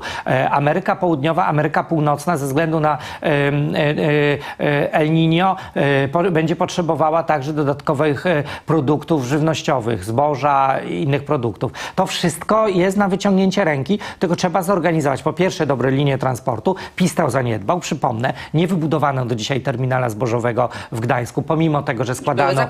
składano takie deklara- deklaracje. Pre, rząd premiera Morawieckiego nie doprowadził do tego, że w ramach Unii Europejskiej powstaną korytarze transportowe, które będą te produkty zapieczętowane, sprawdzone, jeśli chodzi o jakość, przeprowadzały i dzisiaj opowiadają nam bzdury, że tego dopilnują, ale nie dopilnowali tego przez ostatnie miesiące. Jak rolnicy mają im ufać i producenci, że ta historia się nie powtórzy, bo przecież za każdym razem były zapowiedzi, nie obawiajcie się, wszystko będzie dobrze, nie sprzedawajcie zboża, Nie bo sprzedawajcie, zboże... nie kupujcie, Nie kupujcie, nie tak. sprzedawajcie. Dzisiaj zboże e, kosztuje 800 zł za tonę. Kosztowało około 1600-1500 Dokładnie. I takich dopłat ze strony Unii Nawozy z kolei powinniśmy mieli się- kupować, tylko że No teraz właśnie. są 50% tańsze. No właśnie. No więc rzeczywiście pomieszanie, tutaj, tak. pomieszanie z No dobrze, poplątaniem ale- i nie dopilnował tego komisarz Wojciechowski, przypomnę, noszący legitymację Prawa i Sprawiedliwości. Ale to prawnik jest, panie pośle. Może się nie zna na rolnictwie po prostu. A prawdopodobnie się nie zna, bo ja przypomnę historię, e, że o mały włos nie zostałby tym komisarzem, ponieważ w pierwszej rundzie głosowań nie został wybrany na komisarza i tylko i wyłącznie dzięki opozycji, między innymi lewicy, udało mu się zostać tym komisarzem, bo po prostu ratowaliśmy mu skórę i PiSowi. Uratowaliśmy mu skórę, ale dzisiaj ona już nie jest do uratowania w mojej ocenie. Mhm. No dobrze, to teraz e, jeszcze jedna kwestia dotycząca wpływu całej tej sytuacji na proces wyborczy, tak to nazwę bardzo oględnie. Czy uważa pan, że ta e, właśnie kwestia może zaważyć na poparciu dla Prawa i Sprawiedliwości? Ale mm, nie pytam o to... y, czego pan by sobie życzył, tylko tak bardzo realnie. Czy uważa pan, że uda się PiSowi tę sytuację no, jakoś rozwiązać, zamknąć i jak wiele kryzysów przekuć w sukces, czy nie? Pani redaktor, ludzie dzisiaj płacą za wszystko jak za zboże, a PiS e, niestety e, wciska nam to zboże marnej jakości e, i nie to, które powinno. I taka jest dzisiaj rzeczywistość. Ludzie widzą, że oni nie dowożą, że, że nie zadbali o bezpieczeństwo Polek i Polaków i cenę tego będą ponosili. No, wie pani, my wszyscy ponosimy cenę tego, bo jak pani popatrzy, gdzie my dzisiaj jesteśmy, to mamy po, po pierwsze podważone zaufanie naszego partnera w Ukrainie, który widzi dzisiaj, no nie stoicie niestety tak bardzo po stronie Solidarności. Podważanie, e, podważone zaufanie Unii Europejskiej jesteśmy tak naprawdę osamotnieni. A w tym wszystkim trzeba grać drużynowo. Trzeba doprowadzić do tego, że po pierwsze e, e, Polska będzie nadal rzecznikiem interesów Ukrainy, jeśli chodzi o ich walkę o niepodległość, a z drugiej strony będziemy potrafili walczyć o nasze interesy. Przypomnę, milion euro kary dziennie płacimy do Unii Europejskiej. I za chwilę będziemy płatnikiem, który dopłaca do budżetu unijnego ze względu na kary. 770 miliardów Woda na młyn dla złotych. Solidarnej Polski na przykład w kampanii. No tak, ale pani redaktor, ale to są pani moje pieniądze, to są nasze pieniądze, szanowni państwo. Pan, pani, wszyscy płacicie za tą, y, tą karę. 770 miliardów złotych nie trafiło do Polski po raz pierwszy w historii ze środków unijnych. Prawo i Sprawiedliwość dzisiaj jest na kompletnym aucie. No, dzisiaj moglibyśmy, i mówię to jako były samorządowiec, remontować szkoły, budować szpitale, budować żłobki, e, e, budować nowe drogi. To się wszystko nie dzieje, dlatego że nie ma tych pieniędzy. Jak pani patrzy na zakontraktowanie KPO, do końca tego roku trzeba wydać z KPO, zakontraktować 11,5 miliarda złotych. Wie pani redaktor, wiedzą państwo, ile zostało zakontraktowane przez PiS? Ile? Miliard złotych. Miliard. Tyle zostało zakontraktowane. Dlaczego? Dlatego, że te, ci wszyscy samorządowcy, te, wszystkie przedsiębiorstwa nie wierzą, że PiS do, te pieniądze zdobędzie, że po prostu oni nie dostaną z powrotem tych pieniędzy, jeżeli je dzisiaj wydadzą. Bo prawdopodobnie z KPO nie uda im się tych środków zdobyć, bo po prostu widać dzisiaj, że ich nie dowożą. No dobrze, panie pośle, ale nie bierze pan pod uwagę scenariusza, że to właśnie o to chodziło, że to jest kwestia mm, pewnej strategii Prawa i Sprawiedliwości na tę kampanię wyborczą. Że mamy mm, odkopaną teraz kwestię e, Smoleńska. E, Mamy w tej chwili reparacje, wręczanie prezydentowi Steinmeierowi e, ten raport z reparacji przy okazji 80. rocznicy wybuchu powstania w warszawskim getcie. Mamy no, taką mocno antyniemiecką politykę. O Tusku no, to nie wspominam, bo to już jest st- stała. I teraz mamy zebrane przez PiS, jak sądzę, pewne formy dowodów na to, że e, zła jest Unia, czyli taki antyunijny język, takie zohydzanie Unii Europejskiej. Tu się wszystko bardzo pięknie zgadza i jest- układa w jedną całość. Tylko Polacy nie gęsi i swój rozum mają. E, I ja w to naprawdę wierzę. Mhm. To znaczy widzą, że jak nie ma chleba, Polki Polacy widzą, że jak nie ma chleba, to PiS im funduje igrzyska. Po prostu robi im to show właśnie medialne, z którego na koniec dnia nic nie mamy. Bo jak pani idzie do sklepu, to inflacja e, w ciągu roku, jak pani ma 200 zł, to dzisiaj za te same produkty, dwa lata temu miała 200 zł, to dzisiaj za te same produkty musi pani zapłacić 275 zł. Tyle się płaci dzisiaj. 75 zł więcej. Do tego doprowadził PiS, że jak idzie emeryt, co z tego, że ma trzynastkę, czternastkę, jak inflacja zjadła nie dobrze, tylko ale- trzynastkę i czternastkę, ale zjadła także e, e, tą trzecią emeryturę. No dobrze, tylko że wielu mówi, że to nie jest wina rządu, bo to jest wina wojny, bo to jest wina COVID-u, a rząd przynajmniej daje. Daje trzynastkę, daje zabiera? czternastkę. A- Ale tego nikt nie liczy. Znaczy widzi pan, proszę e, policzyć. jaki jest efekt tego w e, sondażach. No Prawo i Sprawiedliwość niezmiennie jest na pierwszym miejscu. I- No przy i a- takiej masakrze, jakiej państw, państwo mówią, że właściwie w każdym em, miejscu, gdzie się nie, nie obrócimy, jest według opozycji masakra, no to, to co PiS robi na pierwszym miejscu w sondażach przez cały czas? Dlatego, pani redaktor, opozycja powinna ze sobą współpracować i szukać wspólnego mianownika. współpracy zaraz jeszcze I porozmawiamy. dlatego trzeba pokazać, e, że opozycja ze sobą współpracuje i ma lepsze propozycje programowe, bo ma od PiSu. Trzeba ludzi zarazić tą ideą, chęcią, e, entuzjazmem do wygrania wyborów. I my jako Lewica jesteśmy do tego gotowi. Jutro zresztą kon, kon, konwencja na temat rolnictwa. W przyszłym tygodniu jesteśmy w Małopolsce. Ja jestem e, w niedzielę na Opolszczyźnie. Jesteśmy na Śląsku w przyszłym tygodniu. Trzeba ludzi zarażać tą pozytywną energią i współpracą. Okej, no to a propos współpracy. Czy pan wybiera się na marsz 4 czerwca? Lewica się wybiera na ten marsz i my No jako... nie cała chyba, bo Zandberg już powiedział, że się nie wybiera. Dobrze, może wszyscy nie możemy, może jemu nie pozwala kalendarz, ale... Nie, nie, nie kalendarz. Jemu się nie podoba pomysł. Dobrze, Twierdzi, no- że no, no dobrze, właśnie, no. dlatego o to pytam. Dobrze, ale liderzy lewicy będą na tym marszu. Będzie i Lewica pan, i. Włodzimierz Czarzasty. Prawdopodobnie będę i ja, i Włodek Czarzasty, i będziemy reprezentowali lewicę, i będą ludzie lewicy, i będą ludzie, którzy, e, którzy szukają wspólnego mianownika. Proszę zobaczyć, lewica wyciąga ren, e, e, swoje serce czerwone, podaje na dłoni do całej opozycji, mówi bierzcie z tego wszyscy, bo to wszyscy na tym zyskamy, na tej współpracy. I namawiam Donalda Tuska, jako lidera najsilniejszej partii opozycyjnej, żeby znalazł taką przestrzeń, gdzie będziemy ze sobą współpracowali. Lewica jest gotowa do tej współpracy, bo dzisiaj wróg jest gdzie indziej. Dzisiaj wrogiem jest PiS i musimy ludzi zarazić chęcią wygrania tych wyborów. Dobrze, dobrze, panie pośle, tylko e, zupełnie szczerze, ja mam wrażenie, że to na przykład Adrian Zandberg traktuje jak wroga Donalda Tuska, a nie na odwrót. Donald Tusk w taki sposób jak Zandberg o nim nigdy się o was nie wypowiada. Znaczy, e, bądźmy sprawiedliwi tutaj, bo Adrian- ja naprawdę bardzo dokładnie słucham, na pewno ze zrozumieniem tych wszystkich słów. No i tutaj raczej pan Adrian Zandberg jest tą stroną atakującą, a nie przyjmującą ciosy. Pani redaktor, wszyscy wiemy, że Adrian Zandberg ma poglądy lewicowe. Jest so, socjalistą, powiedziałbym, tej socjaldemokracji. Dobrze, ale pan apeluje do Tuska. No to może niech pan zaapeluje do kolegi a- Zandberga. Będę apelował również do kolegi Zandberga, tylko pamiętajmy, że tu każdy ma swoją rolę do, do, do odegrania. Adrian Zandberg to jest ten prawdziwy człowiek, który prowadzi ten lud lewicowy, e, bar, e, bardzo taki socjalistyczny, socjaldemokratyczny i on też musi zgarniać ten elektorat. Każdy z nas ma co, lekcję do e, odrobienia. Ja apeluję do Dobrze, tylko wszystkich a kto powiedział, to, że nigdy w życiu nie pójdzie z szukali Tuskiem na tego- jednej liście z Platformą? Adrian tego. Zandberg, tak? Dobrze, a pan no, apeluje pani o współpracę do Tuska. Apeluję do jednego no i i drugiego. będę, ale wie Tylko, pan, że Tusk ponosi większą odpowiedzialność, pani redaktor. O, ponieważ, oczywiście, ale powiem pani łatwo tak dlaczego. zrzucić. Nie, powiem pani dlaczego. Mówię to naprawdę szczerze. Dlatego, że to on jest liderem najsilniejszej partii no politycznej. i to ma związać tego Zandberg. Zandberga? Zamknąć go w komórce i powiedzieć, będziesz mnie kochał? No bo nie Po co rozumiem. na siłę go związywać? No właśnie o to On mówię, się sam jak nie chce. Adrian Zandberg sam się z nami związał, jak pani wie, będziemy startowali z jednej listy, będziemy współpracowali, będziemy tworzyli A jest jeden pan pewny, że nie będzie wyborczy. rozpadu lewicy przed tymi wyborami? Na tysiąc procent. Pani redaktor, przewodniczy zespołowi politycznemu, który w poniedziałek rozpoczął pracę. No ja to- od, biorę To wspólnej odpowiedzialność. listy nie będzie. Z, z kim? No, z partiami opozycyjnymi. Nie, jesteśmy otwarci na współpracę. Nie, no Zandberg nie. Nie, Zandberg nie powiedział, że nie będzie Powiedział. listy. Powiedział Nie. wielokrotnie, że nie wystartuje na jednej liście z Platformą Obywatelską. No, ale to nie, nie Za chwilę, powiedział e, pani mogę redaktor. poprosić Michała Kozłowskiego, żeby znalazł ale kilka tych pani wypowiedzi. powiedziała, że z Platformą Obywatelską, ale to nie znaczy, no zobacz, zaraz zobaczymy, no. Może być szersza formuła, gdzie się znajdzie i Adrian Zandberg. A widział i pan nasze sondaże Obywatelska. wczorajsze, że y, Widziałem, nawet y, wspólna sam, lista. wspólne, ale nawet z samą platformą daje y, wygraną. Co prawda Tak. no, to nie jest jakiś imponujący wynik, bo to jest niespełna 40%, ale jednak więcej niż PiS. I dlatego apeluję, jeżeli miałbym drugi apel do Donalda Tuska, to dajmy dobry przykład. Niech Lewica i Platforma Obywatelska usiądą razem do stołu i zaczną to e, e, przy, dobrym przykładem pokazywać tą Już ma współpracę. dość też ap- apeli, panie pośle. Na No tych wiem, apelach ale- to straciliście wszyscy w y, badaniach redaktor, opinii Ale jaka jest, in, e, jaka jest rola liderów? Pogadajcie poza mediami. Ale gadamy.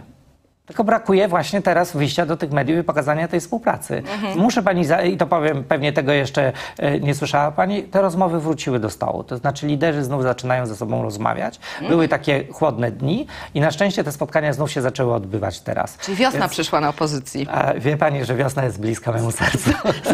Zawiał cieplejszy wiatr, rozumiem. Tak, będzie tak. i koledzy, bo to niestety, ubolewam, nie ma koleżanek, No dobrze, ale wrócili poczuli do tak siebie, zupełnie serio. Poczuli do siebie chemię.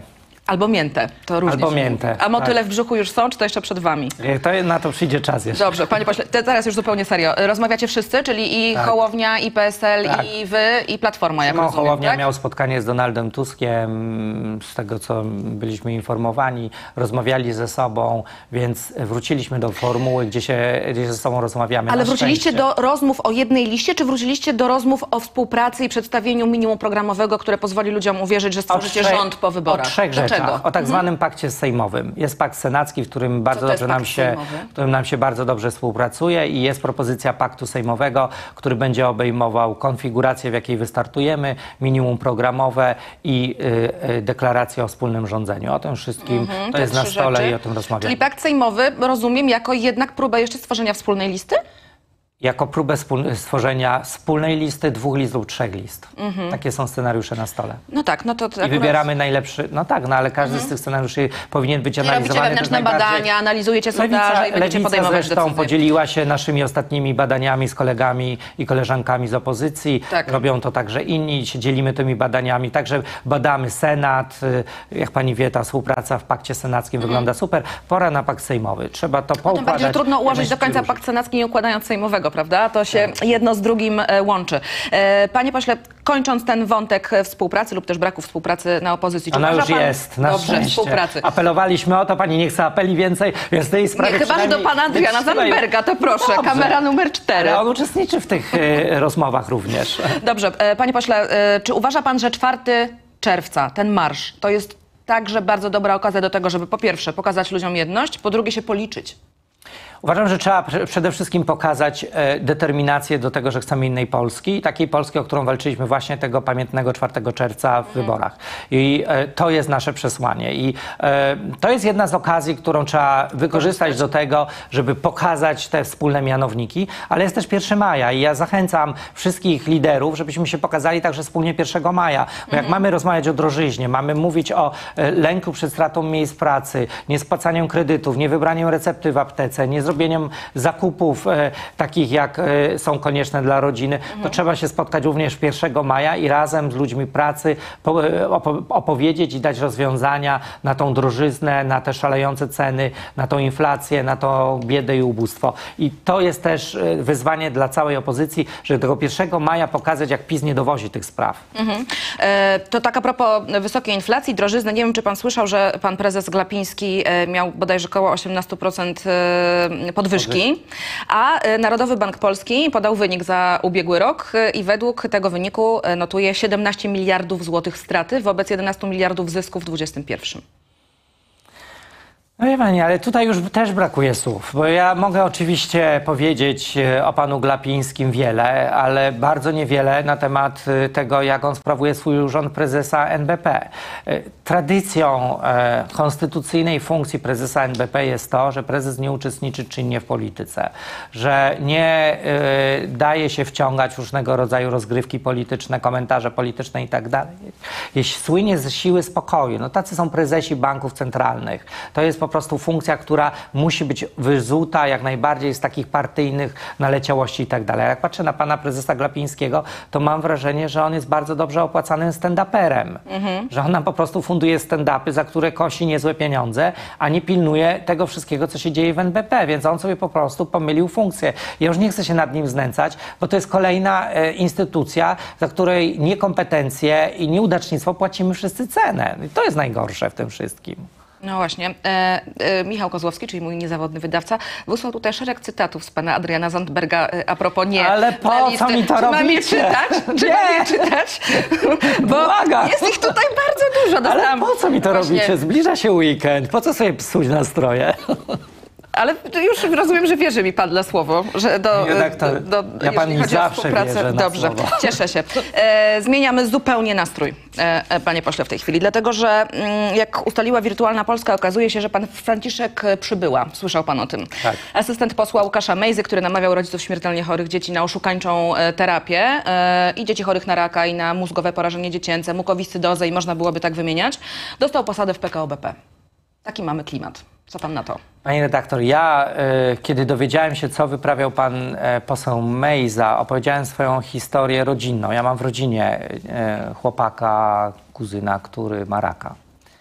I wiem, jaka to jest tragedia, i wiem, jak nasza rodzina, najbliższe otoczenie, my stajemy na głowie, żeby pomóc mu. I, I wiem, że ludzie w takiej sytuacji. Chwytają się wszystkiego. Wszystkiego się chwytają. I ktoś, kto żeruje na tym nieszczęściu, jest po prostu obrzydliwy. Znaczy, ja nie, nie wiem, jak to określić. Ja, ja mam taką historię w rodzinie, więc wiem, co to znaczy i wiem, jak my się boimy, e, że te e, medyczne terapie nie zadziałają i wiem, że ludzie zrobią wszystko, szczególnie rodzice, żeby to dziecko ratować. Ktoś, kto na tym żyruje, jest po prostu potworem. Jest, e, jest kimś, kto jest wyzuty z To jest jedna część tej absolutnie wstrząsającej dla mnie e, historii. Tylko mamy także ciąg dalszy, czyli zatrudnienie tego człowieka w PKO BP. Mało tego, e, oficjalnie e, ma on pracować w Warszawie. Okazuje się, że pracuje zdalnie z Zielonej Góry, z okręgu wyborczego pana Mejzy. Czy gdzie my żyjemy, panie pośle? w zdegenerowanym państwie. Znaczy trzeba być degeneratem i wyzutym kompletnie moralnie, żeby pozwolić sobie na takie rzeczy. To znaczy ludzie, yy, jeżeli chcemy mieć przykład degeneracji tej władzy, to jest jeden z najbardziej drastycznych i dramatycznych przykładów, bo żerowanie na nieszczęściu dzieci, e, które są na skraju życia i śmierci i rodzice zrobią wszystko, żeby je ratować. I politycy, którzy to wykorzystują, są degeneratami i trzeba to mówić jasno i wyraźnie. E, Pan e, PKO BP mówi, że nie komentuje spraw kadrowych. Czego pan się, i czy w ogóle czegokolwiek w tej sytuacji domaga? Bank PKO BP nigdy nie powinien był zatrudnić tego pana, ponieważ ten pan prawdopodobnie nie ma żadnych kompetencji, bo zdecydowała legitymacja partyjna, a nie kompetencje tego pana. Bank PKO BP y, ma dostęp do wiadomości i wie, y, y, czym parał się ten pan, zanim dostał tą ofertę partyjną. Pan PKO BP wie, kim jest pan Mejza i jakich obrzydliwości się dopuszczał w tym kontekście. Więc y, tak się dzieje, kiedy upartyjnia się spół, y, spółki y, Skarbu Państwa, na które się ma wpływ partyjny i polityczny. To jest kolejny przykład, że trzeba politykom zabrać te zabawki i y, odpolitycznić, odpartyjnić tego typu spółki, bo one zawsze będą siedliskiem zła. To teraz e, o dawaniu w szyję, jeśli pan pozwoli, bo okazuje się, że Jarosław Kaczyński nie stanie przed sądem za te słowa e, o polskich e, kobietach, o Polkach. Marszałek Sejmu Elżbieta Witek, no, pewnie zgodnie z przewidywaniami, zablokowała wniosek o wyrażenie zgody na pociągnięcie do odpowiedzialności karnej pana prezesa Prawa i Sprawiedliwości. I kobieta, która pozwała Jarosława Kaczyńskiego za te słowa, właśnie stwierdziła, że decyzja ma charakter polityczny. Ona ma charakter polityczny, czy uważa pan, że jednak odpowiedzialność karna za słowa o dawaniu w szyję była przesadną? By- W tym przypadku nie wiem, Jarosława Kaczyńskiego można za tak wiele rzeczy posadzić, że akurat ja za słowa bardzo jestem e, ostrożny. Uważam, że trzeba oczywiście potępiać nawoływanie do nienawiści, ale to akurat to było obrzydliwe i skandaliczne, ale nie było nawoływanie do nienawiści, więc e, Jarosław Kaczyński powinien oczywiście siedzieć za inne rzeczy. E, tylko, że jeśli e, ma być odpowiedź, to uważam, że powinna być odpowiedź społeczna. To znaczy każda kobieta i każdy mężczyzna, który chce być solidarny z kobietami, nie powinien nigdy w życiu zagłosować na partię Kaczyńskiego, ponieważ oni fundują kobietom piekło. Znaczy Pi- PiS doprowadził do tego, że kobiety dzisiaj mają mniej praw niż kiedy miały w 2004 roku, kiedy wstępowaliśmy do Unii Europejskiej, bo te prawa zostały kobietom zabrane, ograniczone. Więc y, y, w Polsce są dwie siły polityczne, które zagrażają bezpieczeństwu kobiet. Jest to PiS, który już to udowodnił, i Konfederacja. Do tego ja ponawiam swój apel. Głosujesz na Konfederację, głosujesz na PiS, nie idę z tobą do łóżka, koniec, kropka. I mówię to nie tylko do dziewczyn, ale i do chłopaków, którzy idą do łóżka z konfederatami. Po prostu nie bzykajcie się z nimi, bo to jest niebezpieczne, bo to się źle do was skończy. No pani redaktor. My tu mamy dużo konfederatów, mam wrażenie, e, e, wśród widzów, więc zaraz się burza zacznie. ale- Od razu panu mówię. Dobrze. Jednak podważanie męskości konfederaty to jest naprawdę taniec na bardzo, bardzo Pani redaktor, cienkiej linii. pani tak redaktor, a oni po prostu na to nie zasługują. Seks jest zbyt fajną sprawą, że można się było dzielić z ludźmi, którzy chcą ten seks kobietom ograniczyć. Kobiety nie powinny być traktowane w 2023 roku jak inkubator. E, A to Konfederacja, przypomnę, pomogła w tym, żeby kobietom ograniczyć prawo do decydowania o ich życiu, o ich zdrowiu, o ich ciele. Przypomnę, że to oni się podpisali pod tym wnioskiem do Trybunału Konstytucyjnego. To z ich list wystartowała Kaja Godek, to z ich list startuje Brown, Korwin-Mikke, który nie tylko To oni notują coraz wyższe poparcie. ale dlatego Ostatnie ten apel. badania wszystkie powyżej 10%. Pani redaktor, apeluję do wszystkich rozsądnych dziewczyn i chłopaków, naprawdę nie bzykajcie się z nimi, a oni wtedy wpadną w taką frustrację, że zmienią swoje poglądy. E, nie sądzę, żeby zmienili poglądy. E, A, zobaczy pani. No i jeszcze w ogóle pytanie, co jest z tymi poglądami, no bo jak już się tak e, e, rozmawia z panem Mencenem na antenie na przykład, jeszcze No nie miałam okazji, mam nadzieję, że będę miała, no to się okazuje, że troszkę się wycofuje z tych wcześniej em, propagowanych poglądów, ale jak rozumiem, Konfederacja, tak jak pozostałe ugrupowania, e, po prostu jeszcze układa swój program wyborczy. A propos, już na koniec, programu e, wyborczego. Co jest w tym minimum? Czy co Pana zdaniem powinno się znaleźć lub już, już się znalazło w tym minimum e, takim programowym e, opozycji? Bo mówił Pan, że zaczynacie znów nad tym pracować. I zresztą że zaczynamy już rozmawiać e, e, o tym w różnych konfiguracjach. Po pierwsze, nasz stosunek do Unii Europejskiej, czyli zacieśnienie współpracy z Unią Europejską. Po drugie, e, e, walka w tym geopolitycznym kontekście, walka o niepodległość kraju, e, krajów po wschodniej granicy Polski, czyli Białoruś i Ukraina. Nie będzie bezpiecznej Polski bez, bez bezpiecznej Ukrainy i e, Białorusi. Po trzecie, kwestia do, praworządności, czyli kwestie związane z przywróceniem trójpodziału Z władzy. tym, jak to zrobić? Z Dacie tym- e, propozycje rozwiązań, narzędzi, Tak, bo na- wielu twierdzi, że no nie da się tego zrobić, nie łamiąc także konstytucji. Dlatego Lewica już nad tym pracuje i w czerwcu przedstawimy. Mhm. Krzysztof Śmiszek nasz- nad tym pracuje, wiem. Mówił tutaj mi ostatnio. Dokładnie w czerwcu, ale to nie tylko Krzysztof Śmiszek, pani profesor. Ale on chyba Danuta, to pani- nadzoruje, prawda? On koordynuje, Tak. pan profesor, e, pan e,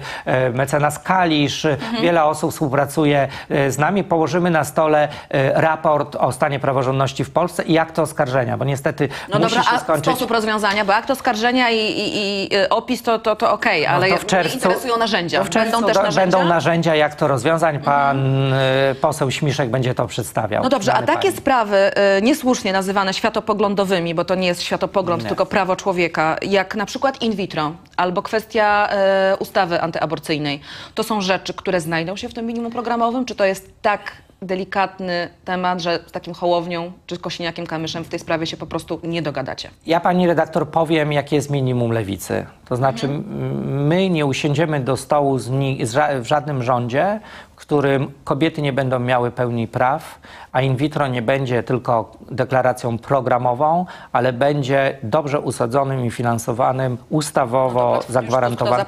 Nie, bo to y, Platforma zapowiada program. Nie, Platforma zapowiada, że będzie in vitro całkowicie finansowany z Tak, budżetu państwa. ale jako program.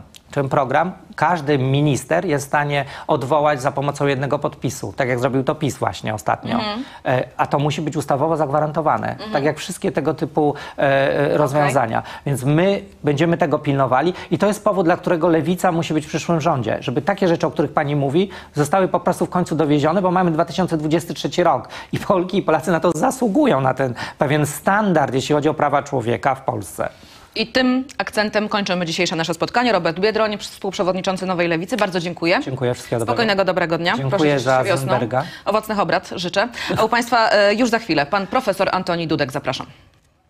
Tak naprawdę chciałbym, żeby zacząć znowu tę debatę. Pamiętacie, ja często bardzo wzywałem Jarosława Kaczyńskiego, że przecież po co ludzie mają y,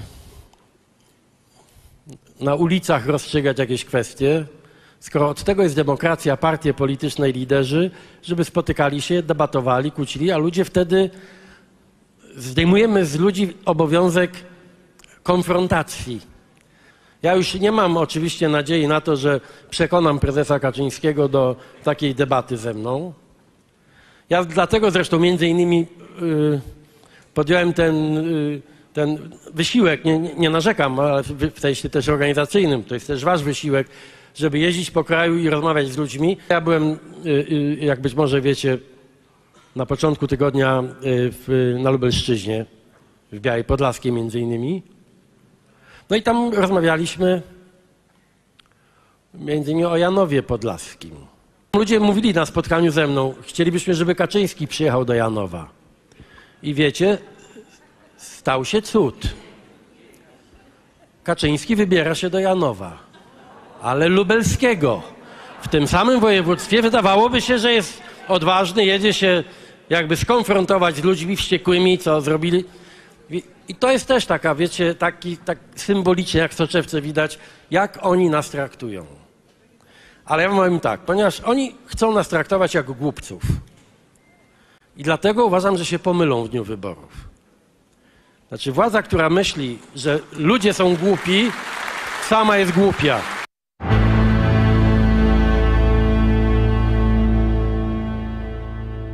Państwa gościem profesor Antoni Dudek, politolog, historyk, Uniwersytet Kardynała Stefana Wyszyńskiego. Panie profesorze, dzień dobry, kłaniam się.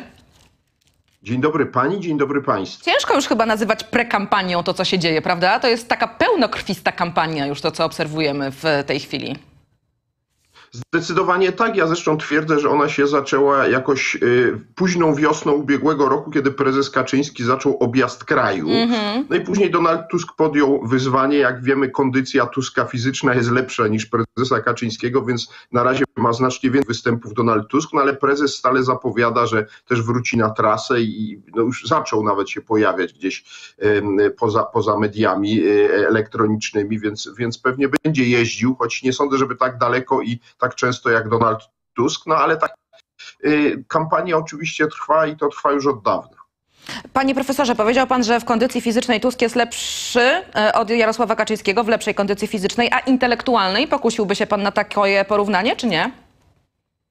Wie pani, ja myślę, że intelektualnie oni są bardzo porównywalnej kondycji, tylko każdy obsługuje inną część wyborców i posługuje się w związku z tym trochę inną argumentacją, innym językiem. Natomiast nie jest przypadkiem, że to Donald Tusk zabiega o konfrontację bezpośrednią, a Jarosław Kaczyński jej unika. Z prostego powodu Kaczyński ma dzisiaj przewagę i boi się, że w efekcie takiej konfrontacji tą przewagę kilku procent, jaką ma dzisiaj Prawo i Sprawiedliwość nad Koalicją Obywatelską, mógłby stracić.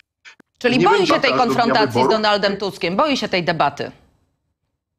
Boi się tej debaty, bo jak powiadam, jest na pozycji sondażowo uprzywilejowanej. Gdyby się e, sytuacja odwróciła jakimś cudem, koalicja obywatelska zaczęła wyprzedzać e, Prawo i Sprawiedliwość, to być może prezes Kaczyński zmieniłby zdanie, ale ponieważ na razie nic takiego nie ma miejsca, no to e, też i zdanie zmieni.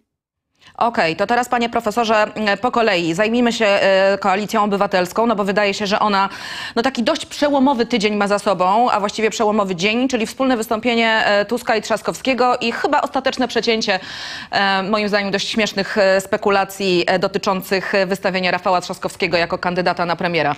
Czy pana zdaniem to jest taki mm, przełom, jeżeli chodzi o kampanię koalicji obywatelskiej? Czy te role już zostały podzielone? Panowie, każdy wie, co ma robić, są jak przekonują e, jedna pięść i wzajemnie się uzupełniają.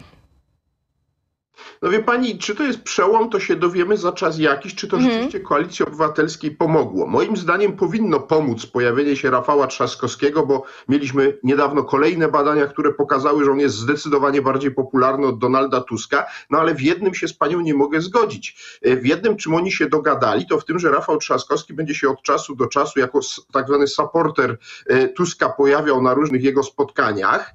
E, No ale co, co dalej? To znaczy, czy padła odpowiedź na pytanie, a co po zwycięskich wyborach będzie robił drugi? Ja tej odpowiedzi nie słyszałem. To znaczy, nie wiem, jaką rola jest przewidziana dla Donalda Tuska po ewentualnym zwycięstwie Koalicji Obywatelskiej, a jaka dla Rafała Trzaskowskiego. I na to pytanie Panie profesorze, muszą udzielić. A nie ma pan poczucia, że w poniedziałek, że nie ma pan poczucia, że w poniedziałek rozpoczęły się tak naprawdę dwie kampanie, czyli kampania parlamentarna i wczesna kampania prezydencka? Bo ja takie dokładnie e, poczucie miałam, szczególnie kiedy Tusk właśnie o tej popularności i o kapitale e, Trzaskowskiego, takim społecznym, sympatii społecznej po wyborach 20 roku mówił. No, można oczywiście na to w ten sposób patrzeć, że rzeczywiście y, y, dla Tuska funkcja premiera, a dla Trzaskowskiego funkcja prezydenta, ale to, to jest, jak pani sama powiedziała, zasugerowane, a nie jasno powiedziane. No i teraz jest pytanie, czy pojawienie się Trzaskowskiego w roli y, po raz kolejny kandydata na prezydenta pomoże Platformie e, Obywatelskiej w wyborach do Sejmu, bo może elektorat Koalicji Obywatelskiej, który jest el- elektoratem dość wymagającym, wykształconym, powie tak, okej, my Rafała popieramy jako kandydata na prezydenta, ale to będziemy tym się w 2025 roku, a w tym roku nie przekonał nas Donald Tusk jako kandydat na premiera. I, I tu chodzi oczywiście o tych wahających się wyborców, e, e, których Tusk chce pozyskać. No zobaczymy. Jestem sam ciekawy, czy, bo to wciąż będzie na przestrzeni maja. Jeżeli kolejne pojawiania się, bo zostały zapowiedziane, że to nie będzie tylko jedno pojawienie się Trzaskowskiego, tylko kolejne pojawiania się Trzaskowskiego razem z Tuskiem, e, czy to da po prostu koalicji obywatelskiej te kilka procent? Bo rzeczywiście, jeżeli ona przekroczy ten sufit 30%, który którego sam sforsować, to to będzie rzeczywiście sukces i niewątpliwie przełom. Natomiast jeśli się okaże, że że nic nie daje, co najwyżej Trzaskowski jest jeszcze bardziej popularny w tych popularności, ale, ale nie przekłada się to na popularność Koalicji Obywatelskiej, no to okaże się, że to nic nie dało i wtedy moja odpowiedź będzie taka, nie dało, ponieważ ludzie czekają, aż Tusk w ogóle się wycofa z kampanii i odda pałeczkę Trzaskowskiemu. Raczej chyba mało prawdopodobne, e, co zresztą o czym przekonują wszyscy politycy, nawet ci bardzo związani z Trzaskowskim. Natomiast, e, panie profesorze, mm, może to jest tak, że panowie tego nie nazwali tak bardzo dokładnie, znaczy nie przypisali sobie ról, też e, mam tutaj na myśli głównie Donalda Tuska z takiego bardzo strategicznego punktu widzenia, bo on nie chce, żeby zarzucano mu brak pokory, monopolizację e, po części opozycji, tym bardziej, że podobno te rozmowy po stronie opozycji znów ruszyły. I znowu jest próba mm, no, ułożenia się, e, jeżeli chodzi o listy, bo no, gdyby było tak, proszę Państwa, to jest kandydat na prezydenta, to jest kandydat na premiera, no to wszyscy mówią zaraz, zaraz, zaraz, no to o czym my rozmawiamy, skoro Tusk już te role podzielił. Może to jest po prostu kwestia strategii politycznej. Wie pani co, no y, y, oczywiście ma, może pani mieć rację w tym sensie, tylko jest pan, czy jak patrzymy na sondaże i założymy na moment, że ta opozycja na lewo od PiSu, zwana demokratyczną opozycją, będzie miała w następnym, y, w następnym Sejmie większość, no to jest oczywiste, że największy klub i to co większy od wszystkich pozostałych będzie, miała, będzie miał klub Koalicji Obywatelskiej, więc jest oczywiste i trudno to e, podważyć takim politykom jak Włodzimierz Czarzasty, e, Kosiniak-Kamysz czy, czy Szymon Hołownia, że premierem zostanie przedstawiciel e, Koalicji Obywatelskiej. No bo taka jest logika polskiej polityki. Oczywiście zdarzały się od tego wyjątki, przypomnę rok 93, kiedy PSL miał mniej posłów niż SLD, ale Pawlak powiedział albo ja będę premierem, albo koalicji nie będzie, a ponieważ SLD nie był w stanie nikogo innego znaleźć, to się zgodził na Pawlaka w roli premiera, ale ja bym nie, nie, nie życzył opozycji takiego scenariusza, bo to się źle skończyło i Pawlak został po nieco ponad usunięty z tego e, fotela, ponieważ nie chciało pogodzić tak naprawdę z tym upokorzeniem, że ma więcej posłów, a nie ma swojego premiera. Więc ja mówiąc krótko, nie bardzo wierzę w scenariusz, w którym premierem zostaje ktoś inny niż główna postać Koalicji Obywatelskiej, więc zapewne, jak pani mówiła, Donald Tusk. Jeśli oczywiście ta, e, te cztery formacje, które dzisiaj się składają na tą opozycję na lewo od PiSu, rzeczywiście będą miały samodzielną większość, co dzisiaj no, jest mało, mało prawdopodobne w świetle sondaży, chociaż niewykluczone. Ciągle mamy jeszcze pół roku do wyborów i wszystko się może zdarzyć, przechylić i w jedną i w drugą stronę. E, Wczoraj Sławomir Nitras e, u mnie w programie powiedział, że e, sprawa konsolidacji opozycji to nie jest jeszcze zakończony temat i on może wielu e, tych, którzy liczą na współpracę, pozytywnie zaskoczyć. Dzisiaj z kolei e, Robert Biedroń no, mówi e, o tym, że wrócili do rozmów, że pracują nad tak zwanym paktem sejmowym, że pracują nad minimum programowym i że pracują nad takim oświadczeniem o wspólnym rządzeniu po ewentualnie wygranych wyborach. W czym pan upatruje powrotu do tych rozmów? Pani, no, w tym, że y, globalnie te, te wszystkie ugrupowania y, no, wypadają w sondażach niezbyt obiecująco. To znaczy widać wyraźnie, jeśli weźmiemy średnio z tych sondaży trzech miesięcy, no to ta, ta demokratyczna opozycja, czyli ci na lewo od PiSu, nie mają, y, nie mają samodzielności, a na to liczyli. W związku z tym zaczęły się pomysły, jakby tutaj nie tworząc wspólnej listy, bo na to poza koalicją obywatelską nikt nie ma ochoty, jednak pokazać wyborcom to, co mówiłem tu w tym programie wielokrotnie jeszcze w ubiegłym roku, że nawet jeśli nie będzie wspólnej listy, to powinno być pokazywanie e, wyborcom opozycyjnym, że te formy w stanie wspólny rząd stworzyć, będą się w stanie porozumieć, nie tworząc jednej listy. No i jak rozumiem, to są działania idące w tym kierunku. I słusznie zresztą z punktu widzenia opozycji, jeśli już nie zdołali stworzyć jednej czy tych dwóch list, co ja uważałem za absolutne minimum, żeby mieć e, szansę na pokonanie PiSu, skoro to jest coraz właściwie już w tej chwili kompletnie nieprawdopodobne, to pozostaje im tylko wykonywanie działań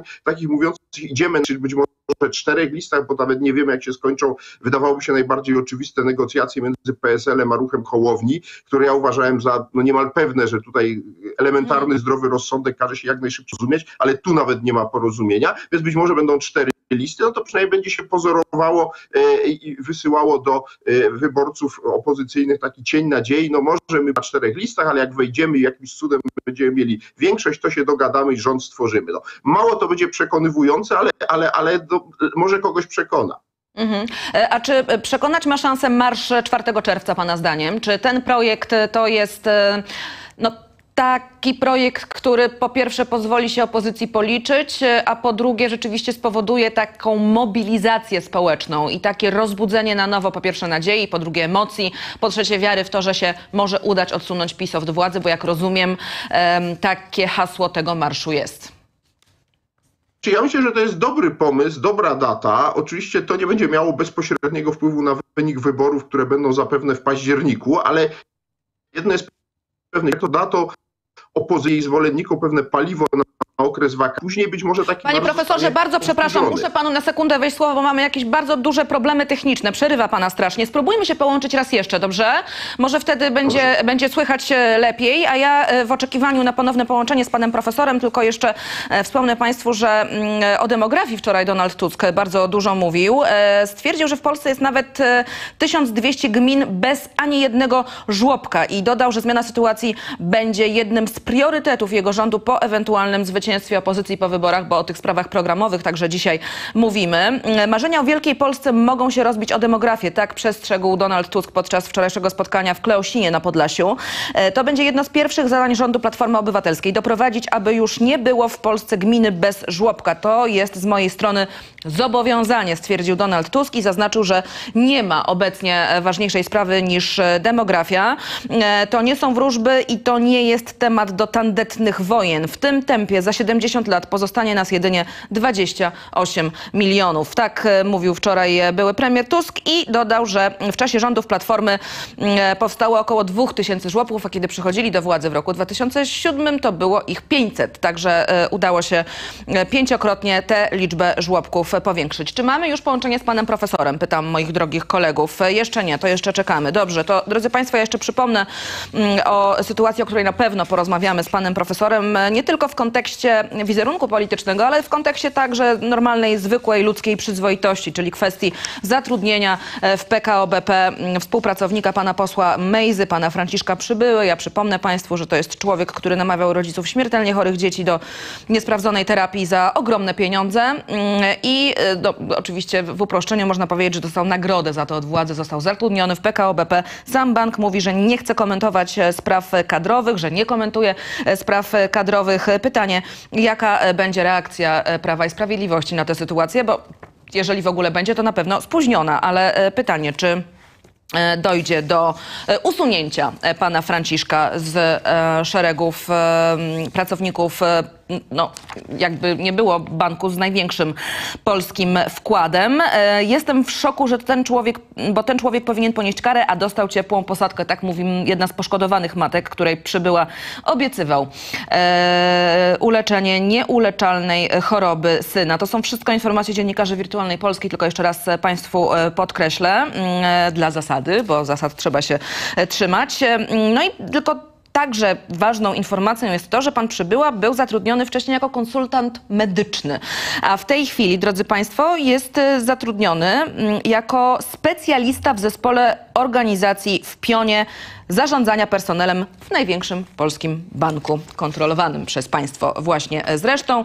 Mm, e, W systemie jako jego miejsce pracy wpisano biurowiec przy ulicy Chmielnej w Warszawie, ale w rzeczywistości, jak się okazało, pan Przybyła pracuje zdalnie i to z Zielonej Góry, i to w dodatku z okręgu wyborczego pana Łukasza Mejzy, także tutaj e, kółko się e, zamyka. Jeszcze tylko ja Państwu przypomnę, mm, że w PKO BP em, także był e, zatrudniony inny młody człowiek związany z Prawem i Sprawiedliwością, czyli pan Oskar Szafarowicz. No i tak wygląda sytuacja.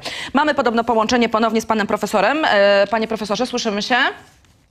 Tak, ja słyszę panią dobrze, mam nadzieję, że będzie teraz trochę lepiej. Przeniosłem się do innego pomieszczenia. Tak, widzę pana zdecydowanie bardziej wyraźnie, słyszę na razie też e, bardzo dobrze, więc kontynuujmy kwestię mm, oceny pańskiej e, inicjatywy Marszu 4 czerwca, bo wspomniał pan o tym, że to raczej nie będzie miało bezpośredniego wpływu na wynik wyborów, ale na co może mieć według pana?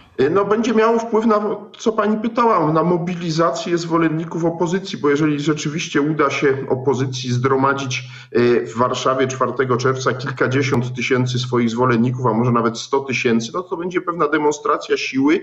To oddziaływuje także na tych rozproszonych jej zwolenników w innych miastach i wtedy taki marsz można powtórzyć tuż przed wyborami, czyli w październiku i wtedy on będzie już bezpośrednio e, oddziaływał na, na, na zachowania wyborcze. Także ja uważam, że to jest dobry pomysł i cieszę się, że opozycja walczy o datę 4 czerwca, którą, którą uważam za niezwykle ważną, a którą PiS kompletnie lekceważy, moim zdaniem niesłusznie.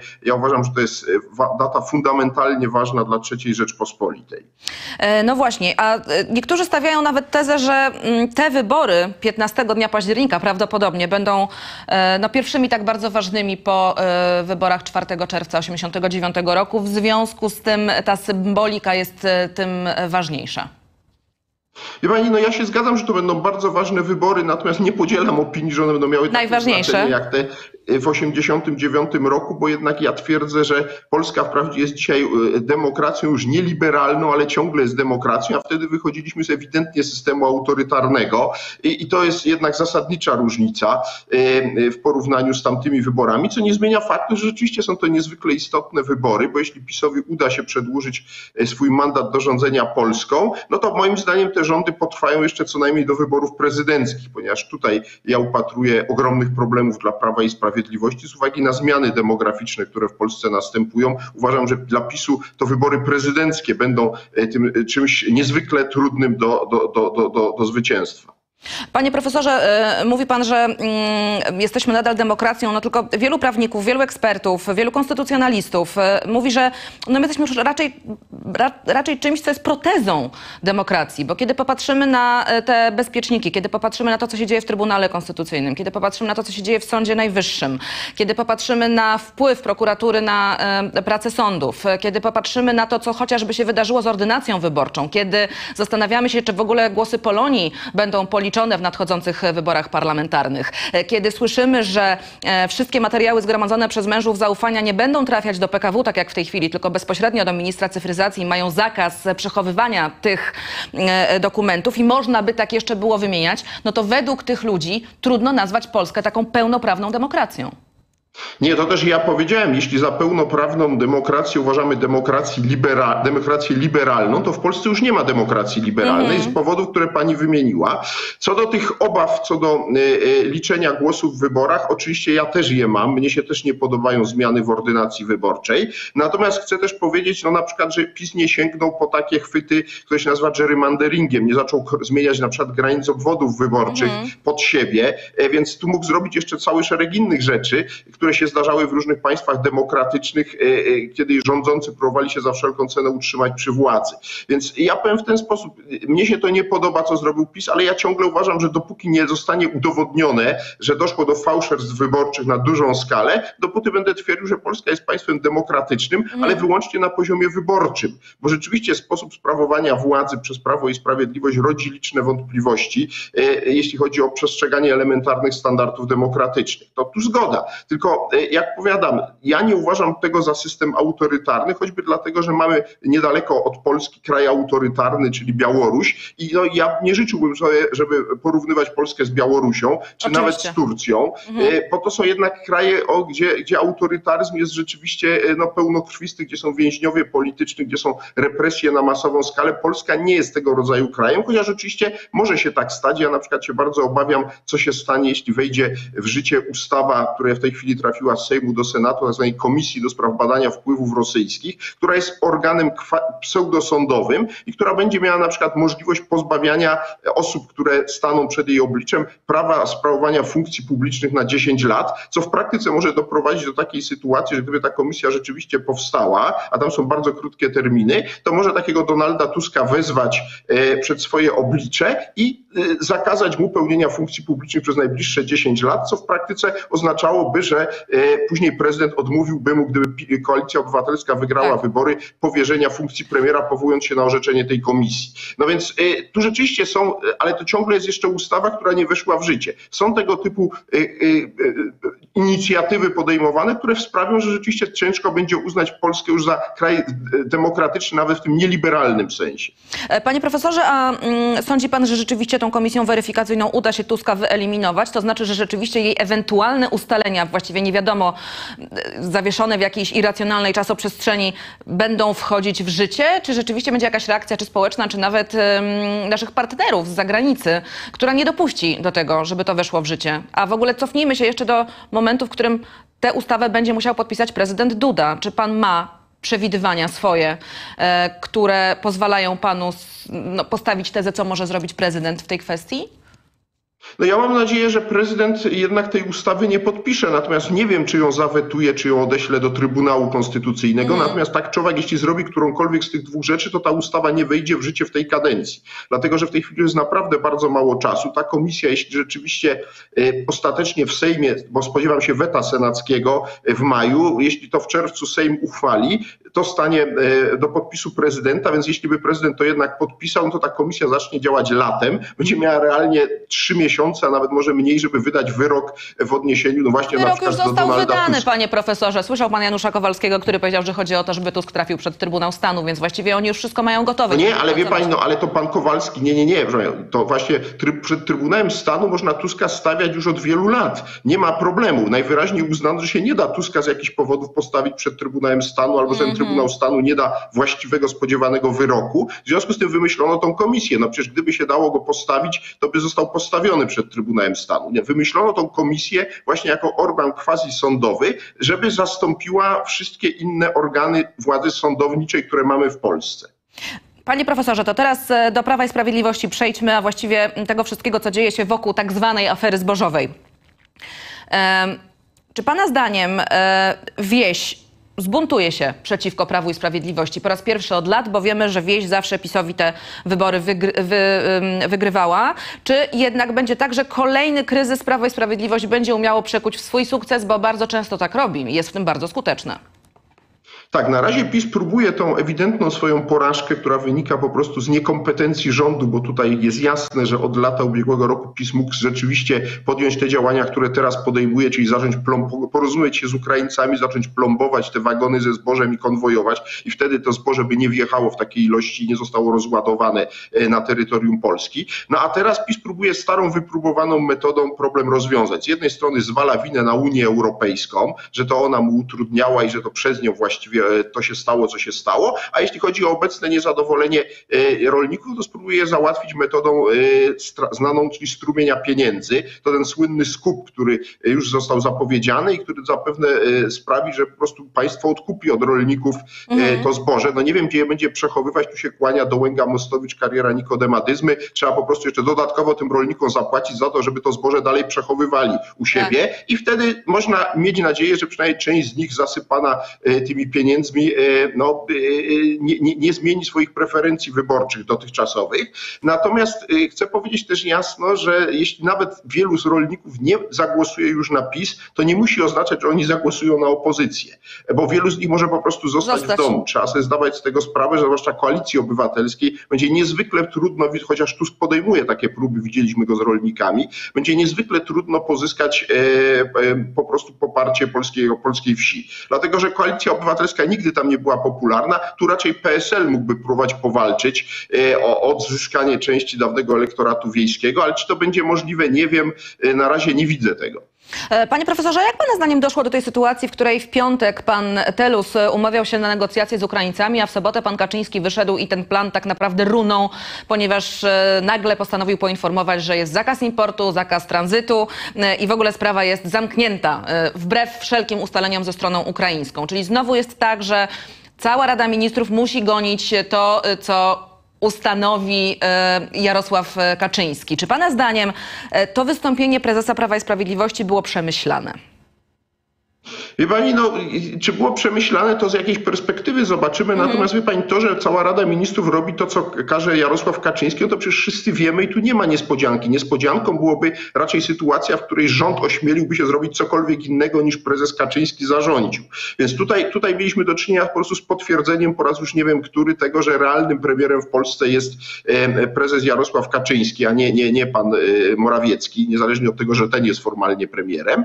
No a cóż, e, e, Kaczyński uznał, że sytuacja jest tak zła na wsi, że trzeba szybkiego, radykalnego cięcia. No i to jest właśnie to cięcie. On pokazał, my się nie boimy Brukseli, Bruksela zrobiła błąd, bo zniosła cła, choć nie protestowaliśmy w tej sprawie, bo nas, nie wiem, ktoś wprowadził w błąd, ale teraz myśmy zadziałali, proszę bardzo, jesteśmy szybcy, sprawcy, Tylko rolników to nie przekonało.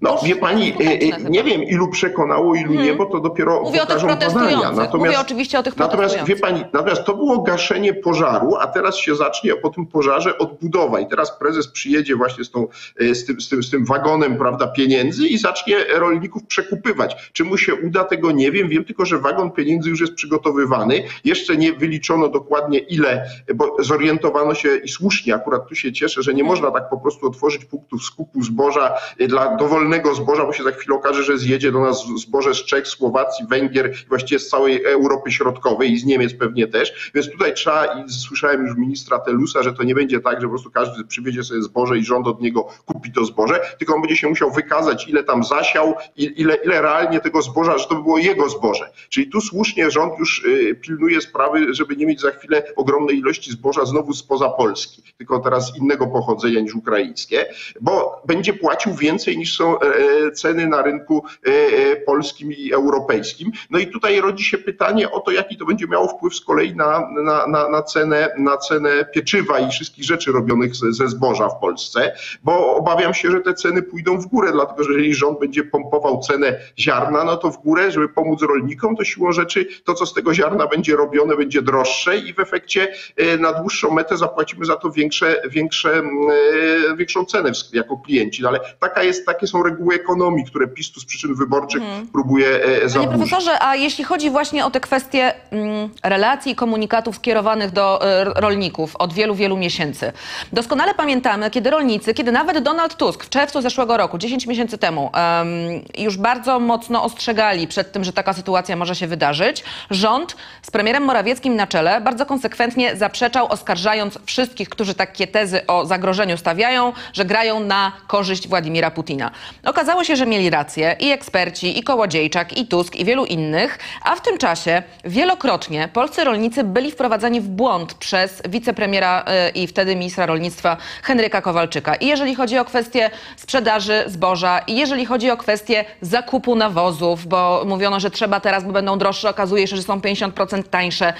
Z czego Pana zdaniem to wynikało? Czy to wynika z niewiedzy, braku doświadczenia, e, czy tego, że po prostu, czy, no, nazwę wprost, czy z jakiejś totalnej ignorancji? Bo tak jak mówię, takie wpadki można zaliczyć raz, dwa, ale nie wielokrotnie. No ja obawiam się, że rzeczywiście chodzi tu o niekompetencje, bo można by to tłumaczyć takim ślepym popieraniem Ukrainy, no ale gdyby ktoś patrzył właśnie proukraińsko na dłuższą metę, no to ten kryzys zbożowy jest w istocie rzeczy najpotężniejszym ciosem w relacje polsko-ukraińskie, jaki sobie można było wyobrazić i który nastąpił, więc tutaj ktoś ewidentnie nie wykazał się myśleniem strategicznym, no ale dlaczego? No bo ten departament e, e, e, strategiczny, który jest w kancelarii premiera, nie zajmuje się właśnie analizowaniem tego typu sytuacji, ostrzeganiem premiera, że za chwilę gdzieś wybuchnie bomba, tylko zajmuje się analizowaniem wyników badań socjologicznych w poszczególnych regionach Polski, a nawet i powiatach, gdzie kto co sądzi o PiSie i co tam można zrobić, żeby ludzie głosowali na Prawo i Sprawiedliwość. Czyli mówiąc krótko, zajmuje się drzewami, natomiast lasem jako całością nie zajmuje się w Polsce nikt. Oczywiście nie mówię o lasach państwowych, tylko mówię o lesie. tym to się zajmują akurat, wycinką. całość. Tak, mówię o państwie jako całości, znaczy takim strategicznym rzeczywiście myśleniem e, dotyczącym potencjalnych zagrożeń. Mam wrażenie, że się w obozie rządzącym zajmuje tylko prezes Kaczyński. Jak on coś dostrzeże, że jest jakieś zagrożenie, no to, to, to e, jest telefon od niego i natychmiast ta sprawa ma być załatwiana. Jak on czegoś nie dostrzeże, a ewidentnie problemu ze zbożem w porę nie dostrzegł, no to jest tak jak jest.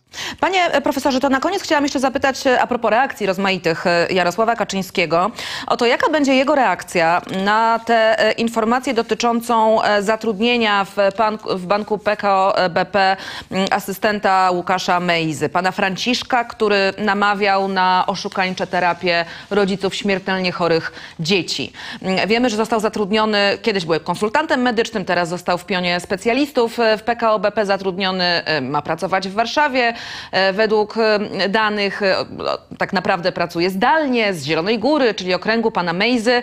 Rozumiem, że mm, no jest to takie wizerunkowe obciążenie, delikatnie mówiąc, dla Prawa i Sprawiedliwości. Stąd też moje pytanie o reakcję Jarosława Kaczyńskiego. I czy panu w ogóle ja myślę, w ta głowie ta reakcja, sytuacja? ta reakcja już nastąpiła, dlatego że ja przeczytałem, że pan wicepremier Sasin wystąpił do prezesa PKO BP, żeby się zajął sprawą pana Franciszka i znalazł mu inne miejsce w strukturze banku, czyli w domyśle, żeby się go pozbył. Więc to prezes Kaczyński niewątpliwie Mm. e, e, zdecydował o czymś takim, bo powiedzmy sobie szczerze, e, wicepremier Sasin, podobnie jak i wszyscy inni w PiSie, realizują polecenia Jarosława Kaczyńskiego. No chyba, że sam Sasin uznał, że jest to na tyle Panie rzeczy profesorze, tylko jak można było do tego dopuścić? Przecież wiadomo, że dziennikarze się dokopią do takiej informacji. To znaczy, Ale jak wie pani, ja można myślę, robić takie rzeczy? ale nie, pani redaktor, to ja proponuję, jeśli teraz nas dziennikarze słuchają, żeby e, nie tylko panem Mejzą się zajęli, ale także tą grupą inną posłów, zwłaszcza go, byłych gowinowców, ale i innych, którzy podtrzymują tak zwaną większość rządową. I zapewniam panią, że ci wszyscy posłowie mają asystentów, mają członków rodzin. O tak. Ci ludzie mają różne dziwne posady i to nie jest tylko pan Franciszek od pana Mejzy. Dlatego, że to jest klasyczny system klientelistyczny, w którym prezes Kaczyński utrzymuje większość po tym, jak się rozpadła partia Gowina, kiedy realnie tą większość stracił, natomiast podtrzymuje ją dzięki no, takiemu zjawisku, które się nazywa elegancko korupcją polityczną. I pan, ten asystent pana Mejzy jest po prostu tylko jednym z wielu takich przypadków. Pozostaje poszukać pozostałych i je nagłośnić. No dobrze, tylko tutaj mamy jednak z e, sytuacją absolutnie moralnie obrzydliwą. Mam na myśli e, kwestię naciągania e, no, zdesperowanych rodziców na trefne, nieuczciwe e, terapie, które miałyby uzdrowić e, dzieci. E, Oczywiście korupcja polityczna jak najbardziej, tylko ja się zastanawiam, co, co, co jest w głowie osób, które zatrudniają tego typu osobę, wo, wo, wobec której są no, tego typu zarzuty formułowane. No przyzna pan, że jednak w kaliber głowie tych osób, moralny w jest głowie tych ogromny. osób jest strach, że jeżeli nie wykonają polecenia swoich przełożonych, to same straf, stracą to stanowisko. Po prostu. Tak działa mechanizm klientelistyczny, gdzie jeśli pani przestaje wy, wykonywać polecenia tego, dzięki komu zajmuje pani to stanowisko, czy to w spółce Skarbu Państwa, czy w administracji państwowej, no to panią zwolnią i koniec. W związku z tym pani zamyka oczy, y, zatyka uszy, y, zatyka nos i y, awansuje taką osobę, czy daje jej posadę gdzieś tam w pani rewirze. I to, to jest prosty mechanizm znany, od dawna opisany. Y, W tym wypadku on dotyczy Prawa i Sprawiedliwości, które, jak mówię, ratuje się, ale zapewniam panią, że jak kiedyś SLD y, 20 ponad lat temu, czy mniej więcej dokładnie 20 lat temu ratowało swoją większość po, po tym, jak Leszek Miller stracił większość, to wyglądało podobnie, tylko innych osób to dotyczyło. Tam był taki federacyjny klub parlamentarny pana Jagielińskiego i różne osoby były ratowane. I ja nie mówię tego po to, żeby usprawiedliwiać Prawo i Sprawiedliwość, mówię to o tym, że tego typu zjawiska patologiczne w polskiej polityce Tak, tylko ich występowały. skala, panie nadzieję, profesorze, ich była chyba jednak inna. mniej. Chyba skala była jednak inna. Skala była inna, tak? Zgadzam się, skala i była inna, bo też i państwo polskie było biedniejsze, więc było mniej posad do rozdawania i mniejsze pensje wtedy wchodziły w grę. Natomiast chcę powiedzieć, no PiS tylko udoskonalił pewne patologiczne mechanizmy i rozwinął na większą skalę, które w polskiej polityce e, występowały. Zresztą nie przypadkiem wielu ludzi popierało na początku PiS, bo obiecywał, że wyeliminuje te różne patologiczne zjawiska. No skończyło się jak zwykle, ale to jest odrębna sprawa. Bardzo dziękuję, panie profesorze. Profesor Antoni Dudek, e, państwa gościem. Kłaniam się jak zwykle bardzo nisko. Spokojnego, dobrego Dziękuję, dnia. pozdrawiam Do panią, zobaczenia. pozdrawiam państwa. Dziękuję.